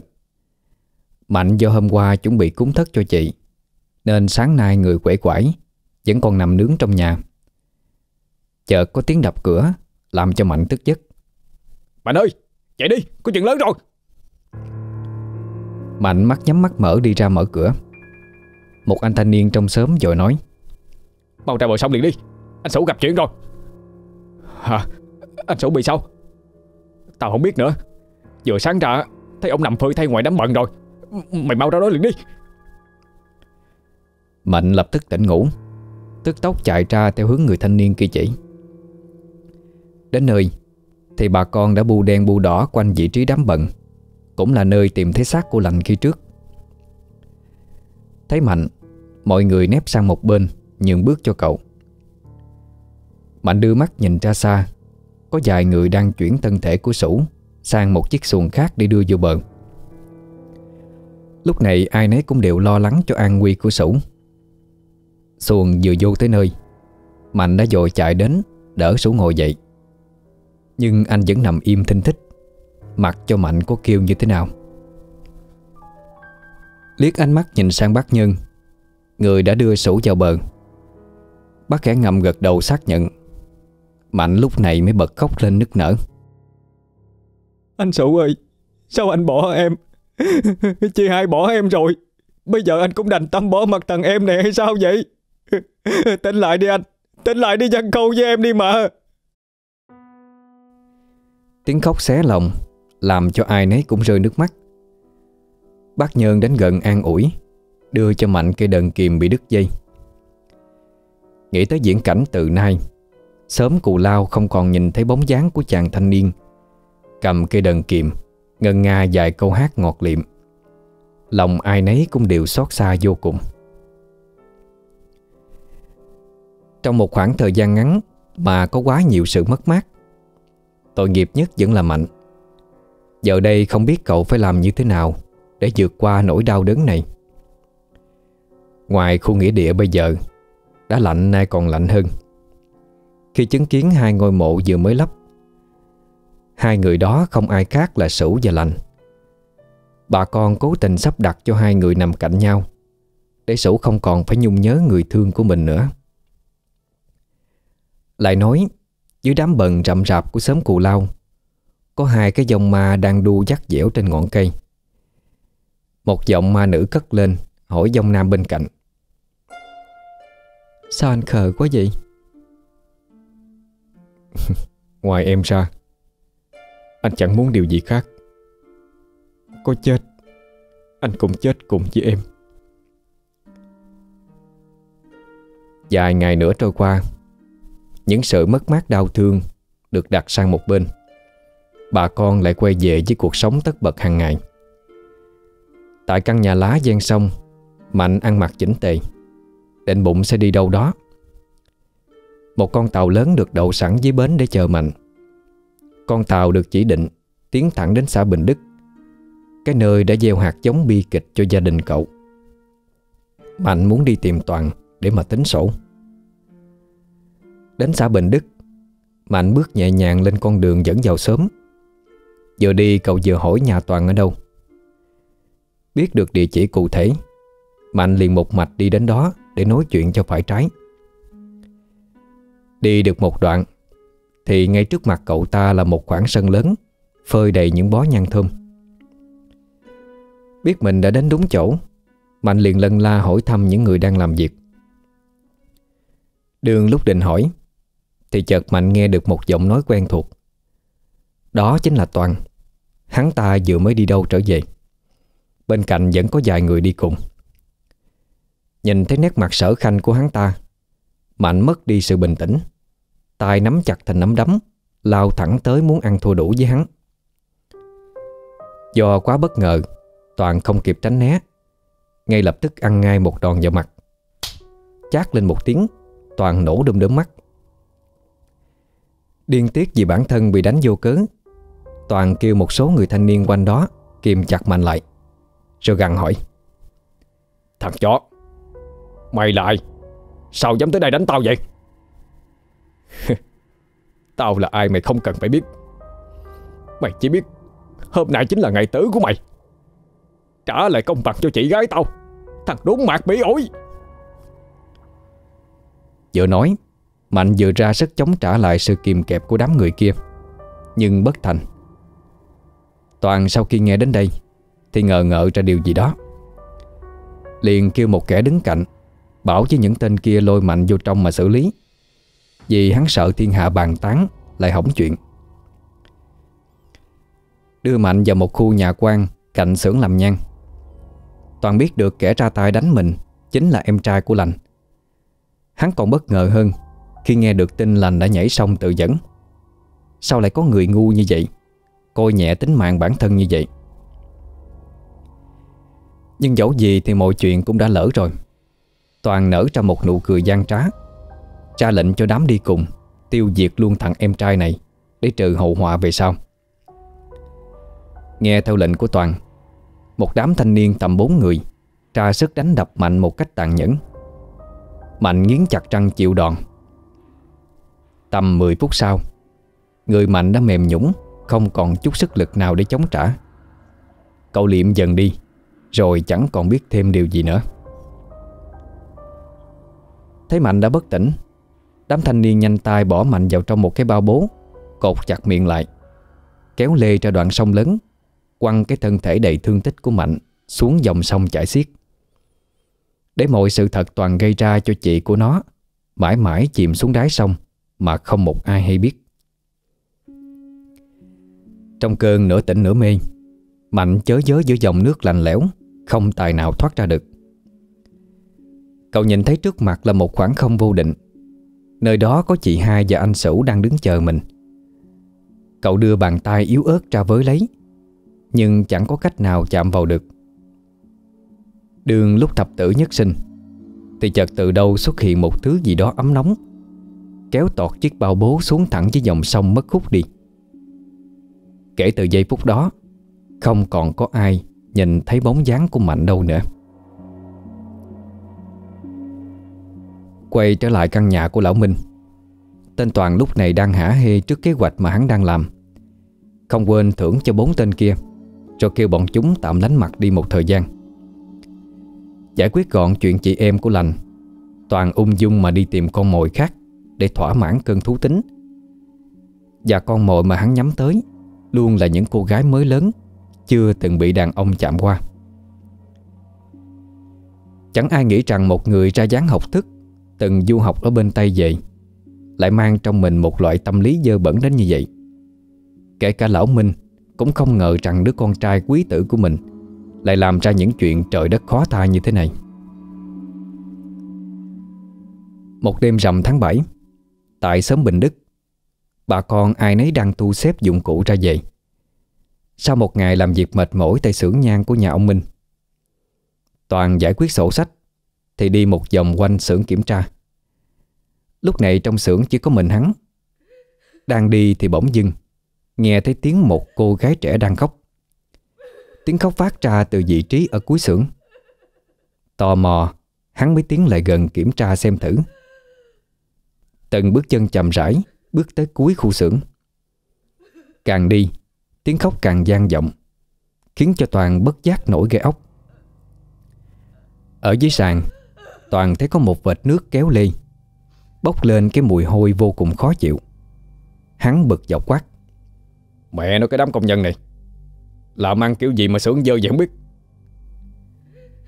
Lèm bèm xong Hắn tiếp tục bước đi tới để kiểm tra.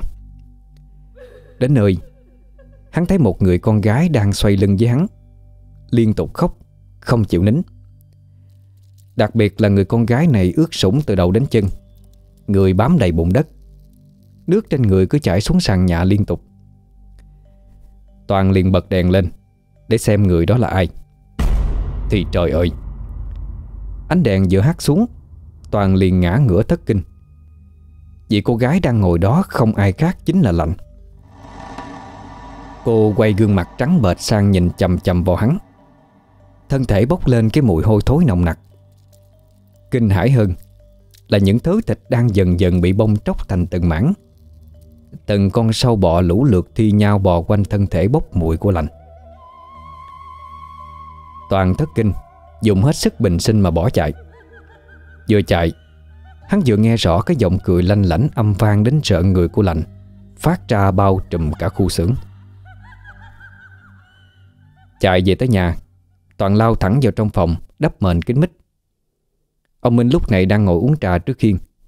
Thấy thái độ kỳ lạ của thằng con, Cũng liền chạy vào hỏi han. Nhưng dù có kêu cửa cách mấy, Toàn cũng không trả lời. Bất lực, Ông ta đành bỏ mặt rồi đi ra ngoài.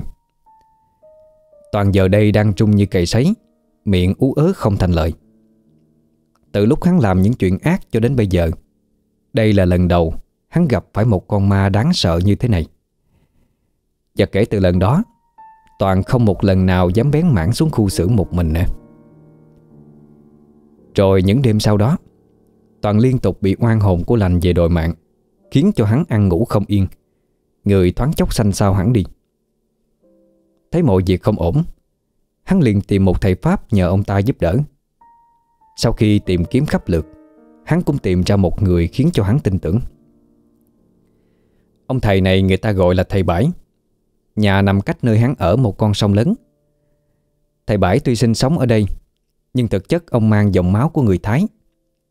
Năm xưa vì hoàn cảnh, Người con gái thầy thương yêu, Đã bị kẻ gian hãm hại, Nên ông mới trôi dạt và bám trụ Ở cái mảnh đất phụ sa này Hồng trả thù kẻ đã lấy đi hạnh phúc của ông. Tuy ở đây đã lâu, Nhưng mọi liên lạc bên Thái, Ông vẫn duy trì thường xuyên. Nhờ vậy mà đạo pháp của ông ngày một cao. Ông thường coi tướng số giải hạn Và cũng không ít lần tiêu diệt những dông ma giấc dưỡng Khi Toàn vừa đến gặp thầy Bãi Nhìn thấy khuôn mặt khóc hát của người thanh niên đối diện, Ông ta liền trao mày, Nhìn vào ấn đường của hắn ta. Một màu đen tối phủ đầy, Nhưng ông không dội nói ra. Sau khi trình bày hết sự tình, Thầy Bãi đồng ý giúp đỡ Toàn. Ông đưa cho hắn một lá bùa màu vàng Bên trên vẽ những ký tự khó hiểu. Bảo hắn đem theo bên người, Sẽ không bị dông ma kia quấy phá. Và quả thật là như vậy. Những ngày tháng tiếp theo Toàn không còn bị lành hù dọa nữa, Mà tuyệt nhiên biến mất rồi. Tưởng chừng như sau mọi thứ kinh hãi, Hắn đã trải qua, Bản thân sẽ biết ăn năn hối cải. Nhưng không, Hắn vẫn chứng nào tật nấy, Liên tục lừa đảo những cô gái nhà lành mà cưỡng bức. Ít tháng sau, Ngay trước sân nhà Lão Minh xuất hiện một cô gái trẻ đẹp. Khuôn mặt dễ nhìn phúc hậu. Đặc biệt là cô gái này có một mùi hương dễ chịu, Tỏa ra từ cơ thể, Làm cho ai nấy cũng đều thích thú. Cô ta tên là Thùy Dung, Người ở xứ khác tới đây. Thoạt đầu mọi người cứ nghĩ là người yêu của Toàn đến tìm hắn, Nhưng hỏi tra mới biết là cô đến đây để xin việc thôi. Nhiều người nghi hoặc Tại sao một cô gái trẻ đẹp như thế kia Lại sinh vào một nơi như thế này để làm việc? Chắc là cũng chẳng có gì tốt lành. Muốn tơ tưởng đến cậu con trai của ông chủ đây mà. Ai nấy đều bàn tán xôn xao. Cho đến khi Toàn xuất hiện, Mọi người mới im bặt Mà quay trở vào trong làm việc. Qua tìm hiểu Dung từ thành phố về đây, Vì yêu thích nghề làm nhang Nên mới có ý định xin vào làm. Riêng Toàn thì chẳng mấy bận tâm đến mục đích của cô gái kia đến đây là cái gì. Đôi mắt của hắn cứ nhắm thẳng vào bầu ngực căng tròn của cô gái trẻ, Rồi nở ra một nụ cười dâm tà. Kiểm tra qua loa hồ sơ, Toàn nhận ngay Dung vào làm trong ngày hôm đó. Hắn không cho Dung ra xưởng làm, Mà cho hắn vào trong làm thư ký riêng cho mình. Với sự dịu dàng cùng với đanh đá của Dung, Toàn như chết mê cô gái bóng bẩy này. Nhưng cố cách mấy, Vẫn không thể chiếm trọn được thân xác của cô ta. Liên tục Dung tránh né thành công mọi thủ đoạn Mà tên sở khanh kia vạch ra. Quả ngọt càng khó ăn, Toàn càng trở nên hứng thú. Mọi thứ tốt đẹp hắn đều dành hết cho cô gái Vừa mới chỉ gặp ít ngày này. Bà con nhìn qua, Thấy càng lúc Dung càng gần gũi với cậu Toàn, Thì đinh ninh là suy đoán của mình đã đúng. Cô gái này thực chất chỉ vào đây để đào mỏ. Điểm đặc biệt ở Dung chính là Cơ thể của cô ta luôn tỏa ra một hương thơm Vô cùng đặc biệt. Cứ mỗi lần đến gần, Toàn như mất đi toàn bộ nhận thức. Những ngày sau đó, Nhà ông Minh lại một phen chấn động. Hàng loạt các cô gái trẻ không biết ở đâu tới, Cứ nặng nặc muốn tìm cho bằng được gã Toàn. Dường như hắn biết được việc này nên đã lên kế hoạch đi công tác cùng với cô thư ký mới. Bỏ lão Minh ở nhà một mình. Phải chật vật lắm Mới đuổi được những cô gái kia về. Từ đó mà ông Minh mới dần hiểu ra được rằng Thằng con quý tử của ông hư thân đến mức nào. Định bụng sẽ đợi hắn về dạy dỗ cho cẩn thận, Không khéo lại mang họa về cho gia đình. Lại nói Toàn lúc này đang hí hửng cùng với Dung Dạo mát tại một bãi biển. Hắn cố tìm cách cưa cẩm người con gái này. Nhưng bằng cách này hay cách khác, Dung vẫn chưa hề cắn câu. Bên ngoài, Dung luôn tỏ ra thái độ dịu dàng hết mức Với người đàn ông luôn đi theo bên cạnh mình. Nhưng một khi hắn đụng vào người, Thì ngay lập tức cô liền đổi thái độ. Đêm đến, Cả hai cùng nhau ngồi uống một ít rượu. Toàn luyên thuyên nói ra những câu đạo lý để lấy lòng Dung. Cả hai đã ngà ngà say. Toàn choàng tay ôm Dung vào lòng mà hung hít. Kỳ lạ thay, Ngay lúc này Dung lại không một chút phản ứng gì. Cô hôn lại Toàn một cách mạnh bạo, Càng kích thích cơn dục vọng của hắn ta. Hắn ta vồ vập người con gái trước mặt như một con thú hoang. Nhưng khoái cảm chưa được bao lâu, Thì chợt hắn cảm nhận được từ bên trong khoang miệng, Có dòng nước gì đó tanh nồng, Vô cùng khó chịu. Đôi môi mà hắn đang chạm vào Không còn ấm nóng nữa, Mà lạnh tanh đến lạ thường. Cảm tưởng như hắn đang hôn vào một cái xác vô hồn vậy. Mở đôi mắt ra để kiểm tra. Toàn liền thất kinh bạc vía, Đẩy cái thân thể nhầy nhụa của cô gái kia ra. Miệng ú ớ không nói thành lời. Nhớ lại cảnh vừa hôn ngấu nghiến, Toàn lập tức gặp người nôn khang Nhìn kỹ hơn nữa thì người đối diện với hắn không phải là Dung, Mà cô ta chính là Lạnh, Người mà hắn đã cưỡng bức Và rủ bỏ cách đây vài tháng trước. Lành liên tục kêu tên hắn, Bắt hắn phải trả mạng. Toàn nghe đến đâu Thì lại như tế sao đến đó.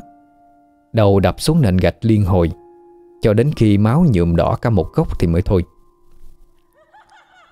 Lúc này oan hồn của lành cũng dần biến mất, Nhưng nụ cười văng vẳng của cô vẫn còn ám ảnh mãi trong tâm trí của Toàn, Khiến cho hắn ta rung lên từng nhịp, Mất đi tự chủ.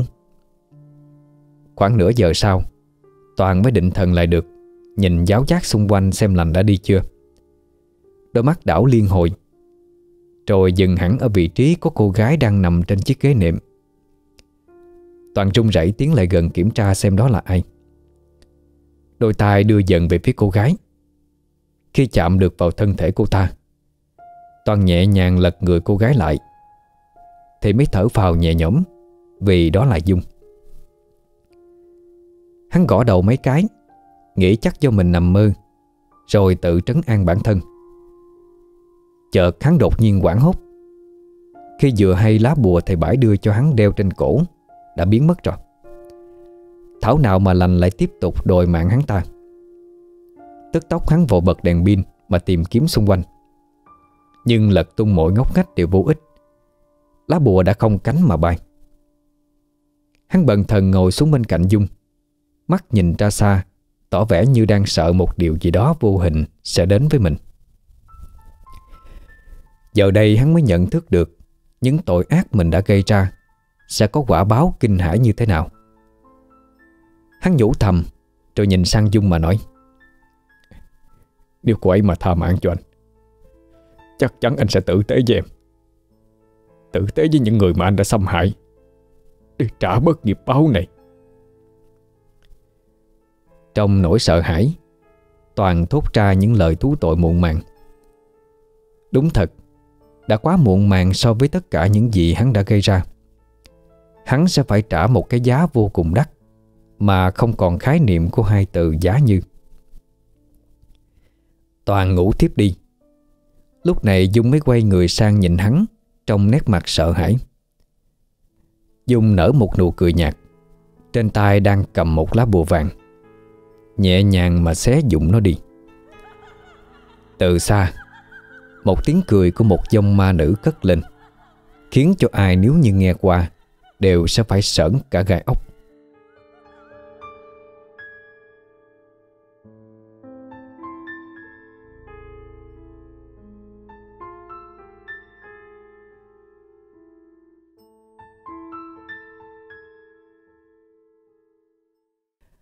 Lại một tuần nữa trôi qua Chuyến đi được gọi là công việc của Toàn Cũng đã kết thúc. Về tới nhà Ông Minh kêu hắn ngay vào phòng để nói chuyện. Vừa gặp Ông liền gắt lên. Nè Toàn Con đã làm những cái việc tài trời gì Mà một loạt cô gái đều đến đây gây sự vậy? Cha đã nói với con rồi Chúng ta là những người làm ăn. Thể diện và hình ảnh á, Nhất nhất là phải giữ cho kỹ. Năm nay cũng gần 30 rồi. Mang danh là học ở bên Tây về Con phải giữ danh tiếng cho mình chứ. Bây giờ không nói nhiều nữa. Tìm gấp cho cha một đứa con dâu. Nhìn thấy mày yên bề gia thất tao mới yên tâm được. Nh, Nhưng mà Con chưa có muốn. Chưa muốn hả? Hay là mày muốn phá hết làng trên xóm dưới thì mới chịu ngưng? Dẹp cái ý nghĩ đó đi. Bằng không thì mọi quyền hành của con cha cắt hết đó. Bất lực trước những lời nói của cha. Toàn im bặt không dám nói thêm tiếng nào. Đành phải thuận theo ý ông. Toàn chán nản vội đi ra ngoài giải sầu. Hắn tìm tới các cô gái trẻ để thỏa mãn. Nhưng cứ chạm vào ai, Thì gương mặt trắng bệch đáng sợ của lành đều hiện ra. Khiến cho hắn chưa kịp làm gì, Đã vội chạy mất dạng rồi. Chịu không được cảnh bị đeo bám Toàn kéo ghe xuống sông bơi sang nhà thầy Bãi Để xin lại lá bùa. Nhưng khi tới nơi, Thì cửa đóng then cài. Thầy Bãi đã đi đâu mất rồi? Hỏi bà con xung quanh, Thì mọi người nói rằng thầy bỏ đến nơi khác sống, Không có ở đây nữa. Nghe được tin tấm phao cuối cùng cũng đã bỏ đi mất. Toàn thất thần nhìn ra ngoài sông.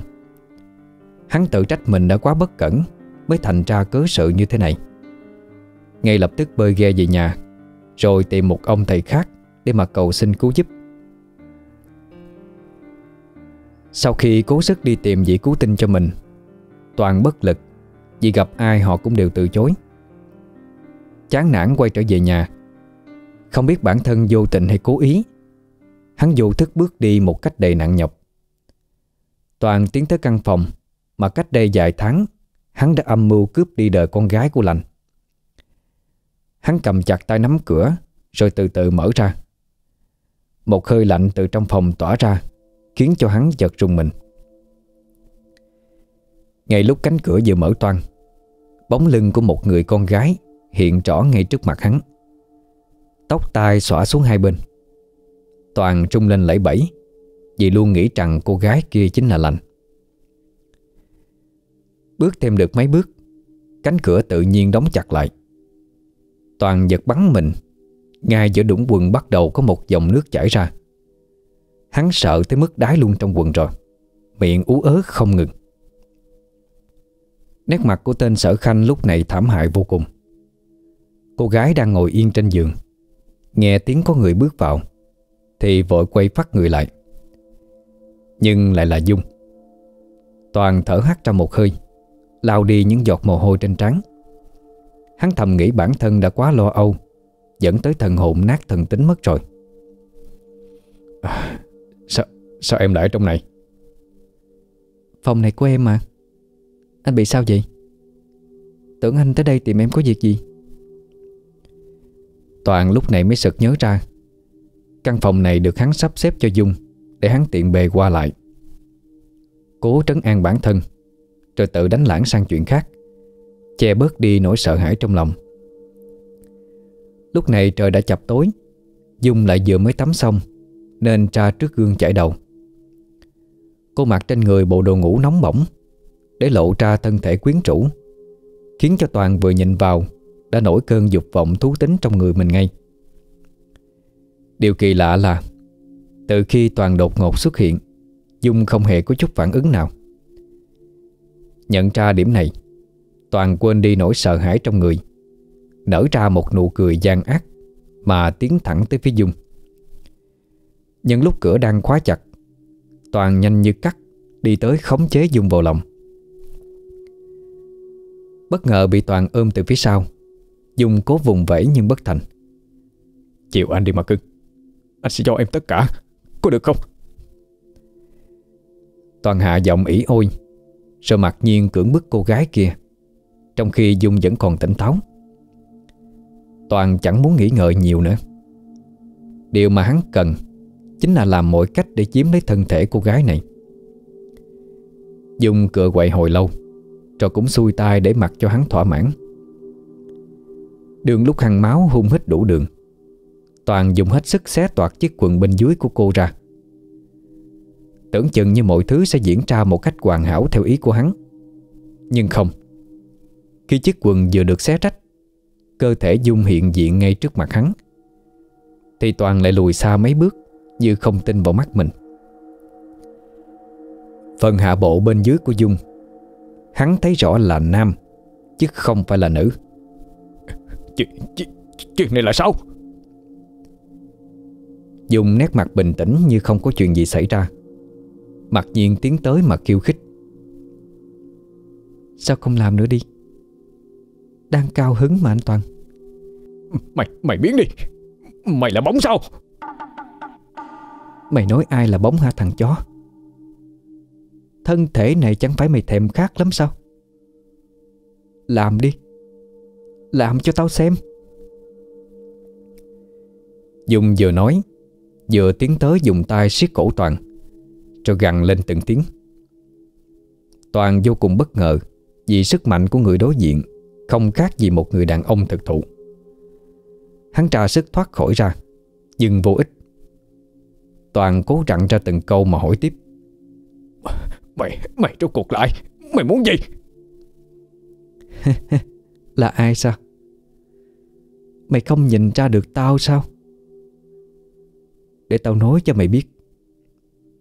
Mày nghe cho kỹ. Tao chính là Mạnh Em trai của cô Lành. Người bị mày hại đời mà lao sông tự dẫn đó. S Sao có thể như vậy được? Hình hài này, Ch, Chẳng phải mày đã chết rồi sao? Mày bất ngờ lắm hả? Chẳng những tao không chết, Mà còn sống với một hình hài khác. Thằng đốn mạc như mày, Hôm nay nhất định sẽ phải trả giá. Tao phải để cho mày chết. Chết theo nỗi quốc hận của chị gái tao. Mà, Mạnh à tôi, tôi biết sai rồi. Cậu thương tình tha mạng cho tôi đi. Tôi hứa sẽ không làm hại ai nữa. Mỗi ngày lên chùa cầu siêu cho chị gái của cậu Có, có được hay không? Đi chùa hả? Loại như mày cũng biết tới chùa sao? Để cho mày sống Chẳng khác nào chắc hổ về rừng. Mày phải chết Nói xong, Dung đột nhiên buông lỏng người của Toàn ra. Hắn lúc này nhìn thẳng vào khuôn mặt nóng giận của Dung. Mà không, Là Mạnh mới đúng. Hắn sợ hãi rồi bỏ chạy đi. Tiếng bước chân thầm thập chạy hướng ra ngoài bờ sông. Bên tai Toàn còn nghe rõ nụ cười mang trợ của lạnh, Cứ văng vẳng đuổi theo sát nút, Khiến cho hắn phải đái thêm một chập nữa. Chạy được một lúc thì ra tới bến đò.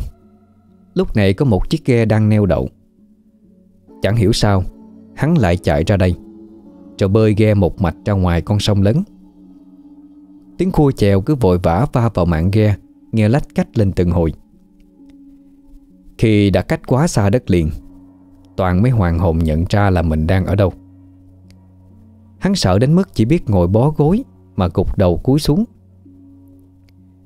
Chưa dừng lại ở đó, Ít phút sau Chiếc thuyền bỗng nhiên tự động bơi đi, Mà không cần một sự tác động nào. Như có ai đó đang ra sức mà kéo chiếc thuyền ra xa. Toàn lúc này mặt cắt không còn giọt máu. Cho đến khi chiếc thuyền đi gần tới bến nhà thầy Bảy Mới chịu dừng lại. Nhận ra cái bến đậu quen thuộc, Bên trên căn nhà lại có ánh đèn hắt ra. Nghĩ bụng có người bên trong. Toàn mừng như bắt được vàng liền ngồi nhóm dậy Mà chạy nhanh lên bờ cầu cứu. Nhưng khi vừa bước được mấy bước, Thì chiếc ghe đột nhiên trung lắc dữ dội, Khiến cho hắn không giữ được tăng bằng Mà té nhào xuống sông. Dòng nước lạnh lẽo Xuất hiện một đôi mắt đen ngòm của ai đó Như chờ sẵn toàn rơi xuống. Nhanh như cắt, Hình dạng bí ẩn kia chụp lấy thân thể đang chớ giới của Toàn. Dưới dòng nước sâu Toàn thấy rõ một con dao chọc tiết heo Đang chĩa thẳng vào cổ mình. Rồi phập một nhát chí mạng. Lưỡi dao đâm sâu vào cuốn họng của hắn Một cách đầy dứt khoát. Toàn nhận thức được vài giây, Rồi xuôi tay với dòng nước. Toàn bộ máu huyết trên người bị rút sạch đi. Một mảng máu tanh nhuộm đỏ cả một khúc sông. Toàn chết mà không một ai hay biết. Ít phút sau một thân người ướt sũng, Kéo lê một cái xác, Hì hục đem lên bờ.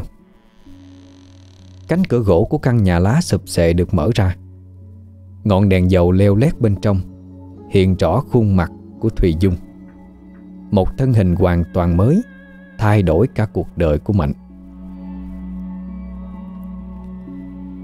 Lại nói mấy tháng trước, Sau khi quăng Mạnh xuống sông, Giữa lúc tưởng chừng như không còn chút cơ hội sống sót thì một bàn tay đã kịp với lấy Mà kéo cậu vào bờ. Khi đám thanh niên kia đã bỏ đi, Người đó chính là thầy Bảy, Người con gốc Thái, Cứu được Mạnh trong gan tất Và biết được hết những tội ác mà con trai của ông Minh gây ra. Thầy Bảy dẫn Mạnh về Thái để hồi sức Và thay đổi hoàn toàn thân thể của cậu ta Thành một người phụ nữ. Phần là để tiện bề trả thù, Che giấu thân phận thật sự của Mạnh. Không để Toàn nghi ngờ. Phần còn lại Thì Mạnh đích thị từ nhỏ đã mang giới tính này, Nhưng vì tự ti mà không dám thể hiện ra bên ngoài. Rất nhiều lần Mạnh động lòng trước sủ Nhưng sợ một thứ gì đó vô hình, Nên cậu cứ chôn giấu mãi. Cho đến khi chị hai và anh Sửu chết đi, Mạnh quyết định sống với con người thật của mình Và quyết tâm phải trả cho bằng được mối thù này. Và còn một lý do khiến cho thầy Bãi phải hết sức giúp đỡ Mạnh. Đó chính là, Giữa thầy Bãi và Lão Minh Vốn đã có mối thâm thù từ trước. Bao năm nay, Thầy luôn theo sát gia đình của lão ta. Mối thù này xuất phát từ khi Toàn chưa lọt lòng. Với bản tính ngạo mạn của chính mình, Lão Minh đã bị ổi tới mức Hãm hiếp người con gái mà thầy bãi hết mực yêu thương, Khiến cho cô gái kia chết một cách đầy oan ức. Nhiều năm tìm cách báo thù. Nay gặp được Mạnh, Thầy bãi chẳng ngần ngại gì, Đã ra tay giúp đỡ. Mượn dao giết người, Cũng chính là kế hoạch hoàn hảo nhất. Việc thầy bãi xuất hiện và trao bùa cho Toàn Nằm trong kế hoạch của Mạnh. Cậu muốn Toàn mất đi sự cảnh giác Mà dễ dàng đối phó. Thêm nữa, Mạnh muốn dày vò tâm thức của hắn ta đến tận cùng, Rồi mới tra tay giết chết hắn. Vì không muốn liên quan quá nhiều, Nên thầy Bãi đã sớm rời đi, Mặc cho Mạnh làm theo ý nguyện của mình. Thông tin về sự mất tích của Toàn được lan đi khắp nơi. Sau vài ngày không thấy hắn đâu, Lão Minh lúc bấy giờ vô cùng sốt ruột, Lo lắng cho cậu con trai của mình. Ông ta liên tục nằm mơ thấy Toàn về báo mộng, Nhưng chưa kịp nói gì, Đã bị hai dông lạ lôi đi mất dạng. Mọi nỗ lực tìm kiếm đều không có kết quả. Thùy Dung, Cô gái luôn đi chung với Toàn. Cả sớm Bình Đức cũng không ai nhìn thấy. Tuổi già sức yếu, Cộng thêm việc lo lắng cho đứa con trai. Lão Minh cũng sớm lâm bệnh nặng rồi qua đời. Người nhà cùng các nhân công trong xưởng Cùng nhau tổ chức đám tang cho lão ta. Ba ngày sau khi lão Minh mất, Đột nhiên công an ồ ạt bao dây lấy công xưởng nhà ông. Theo tìm hiểu, Toàn khi về nước đã cấu kết với nhiều tay buôn hàng trắng tiêu thụ khắp nơi. Nay công an đã thu thập được đủ chứng cứ, Muốn mở rộng điều tra, Nên phát lệnh niêm phong toàn bộ tài sản của lão và con trai. Hàng loạt những vụ bê bối của lão Minh năm xưa Cũng đã được phanh phui, Khiến cho ai nấy trong dùng đều ngỡ ngàng. Không tin lão là một con người hiểm ác như vậy. Riêng Toàn Công an đã nỗ lực tìm kiếm, Nhưng hoàn toàn không tìm thấy bất kỳ dấu vết nào của hắn. Như thể là hắn ta biến mất vào trong không khí vậy. Vậy là sau bao nhiêu năm cố gắng miệt mài, Kèm theo các ác nghiệp tích tụ của chính bản thân Và cậu con trai, Mà cả cơ nghiệp đều mất sạch. Lời ra tán vào Khiến cho lão chết cũng không được yên thân. Tại xóm Cù Lao ở một căn nhà nhỏ bám đầy bụi và mạng nhện. Mạnh bước vào. Với thân hình là một cô gái xinh đẹp. Nhìn vào tấm di ảnh của Sủ Và chị Lạnh Cậu chợt mỉm cười, Thắp cho họ ba nén nhang Rồi làm bầm trong miệng. Chị hai, Anh Sủ Hai người yên tâm mà nhắm mắt. Tên sở khanh đó đã được em bài trừ quan ức của chị em cũng đã đòi xong. Mong anh chị ra đi thanh thản. Nói xong, Mạnh quay mặt ra ngoài, Chợt rơi xuống vài dòng nước mắt. Tự mình nhớ lại những việc đã diễn ra. Nó không nghĩ bản thân lại tàn độc đến như vậy. Một người hiền lương Suốt ngày giăng câu bắt cá, Nay lại trở thành một tên sát nhân tàn bạo, Dùng phương kế độc đoán để trả thù người. Nghĩ đến đó, Mạnh bước dần ra phía bờ sông. Xuống ghe, Rồi bơi một mạch ra ngoài đám bần quen thuộc. Đến nơi, Mạnh hồi ức lại những kỷ niệm đẹp giữa nó và anh Sửu. Nó nhớ anh, Nhớ chị hai nhiều lắm. Nhớ cái cảnh bình yên của xứ Cù Lao ngày nào. Một hương vị mà nó không bao giờ quên được. Ngã người ra đằng sau, Mạnh nhìn thấy bầu trời đêm một vì sao đang sáng. Dần tắt đi. Nó mỉm cười, Nhắm nghiền đôi mắt nặng trĩu. Mạnh ra đi, Như cái cách mà anh sửu của nó từng làm. Vài tuần sau, Tại đám bần quen thuộc, Bà con sớm cù lao lại một phen thất kinh, Khi nhìn thấy một cái xác trơ xương Nằm trên một chiếc xuồng nhỏ. Bầy quạ lũ lượt kéo đến Trĩa hết số thịt trên thi thể của người lạ mặt, Mà không một ai trong xóm biết đó là ai. Chỉ thấy dọn dẹn một bộ xương khô. Điều kỳ lạ chính là thoạt nhìn cái xác này đã chết được vài tuần, Nhưng tuyệt nhiên lại không một ai trông thấy Hay ngửi thấy mùi hôi, Cho đến khi lũ quạ kéo đến. Vì cái nghĩa cái tình, Bà con cùng nhau đưa bộ xương không rõ lai lịch, Mang vào trong khu nghỉ địa của xóm mà chôn cất. Trùng hợp thay. Một mảnh đất nhỏ Nằm cạnh hai ngôi mộ của Sửu và Lành, Được bà con chọn làm nơi chôn cất. Cuối cùng thì ba người họ cũng đã đoàn tụ với nhau. Mọi khổ đau phiền muộn Không còn hiện diện trong tâm thức của họ nữa. Chấm dứt một kiếp người trầm luân, Không có lối thoát. Về sau bà con sớm cù lao Mới thấm rõ sự tình mà tiếc thương cho số kiếp của một người con gái. Một đời khổ cực vì không giữ được thân mà quyên sinh tự dẫn.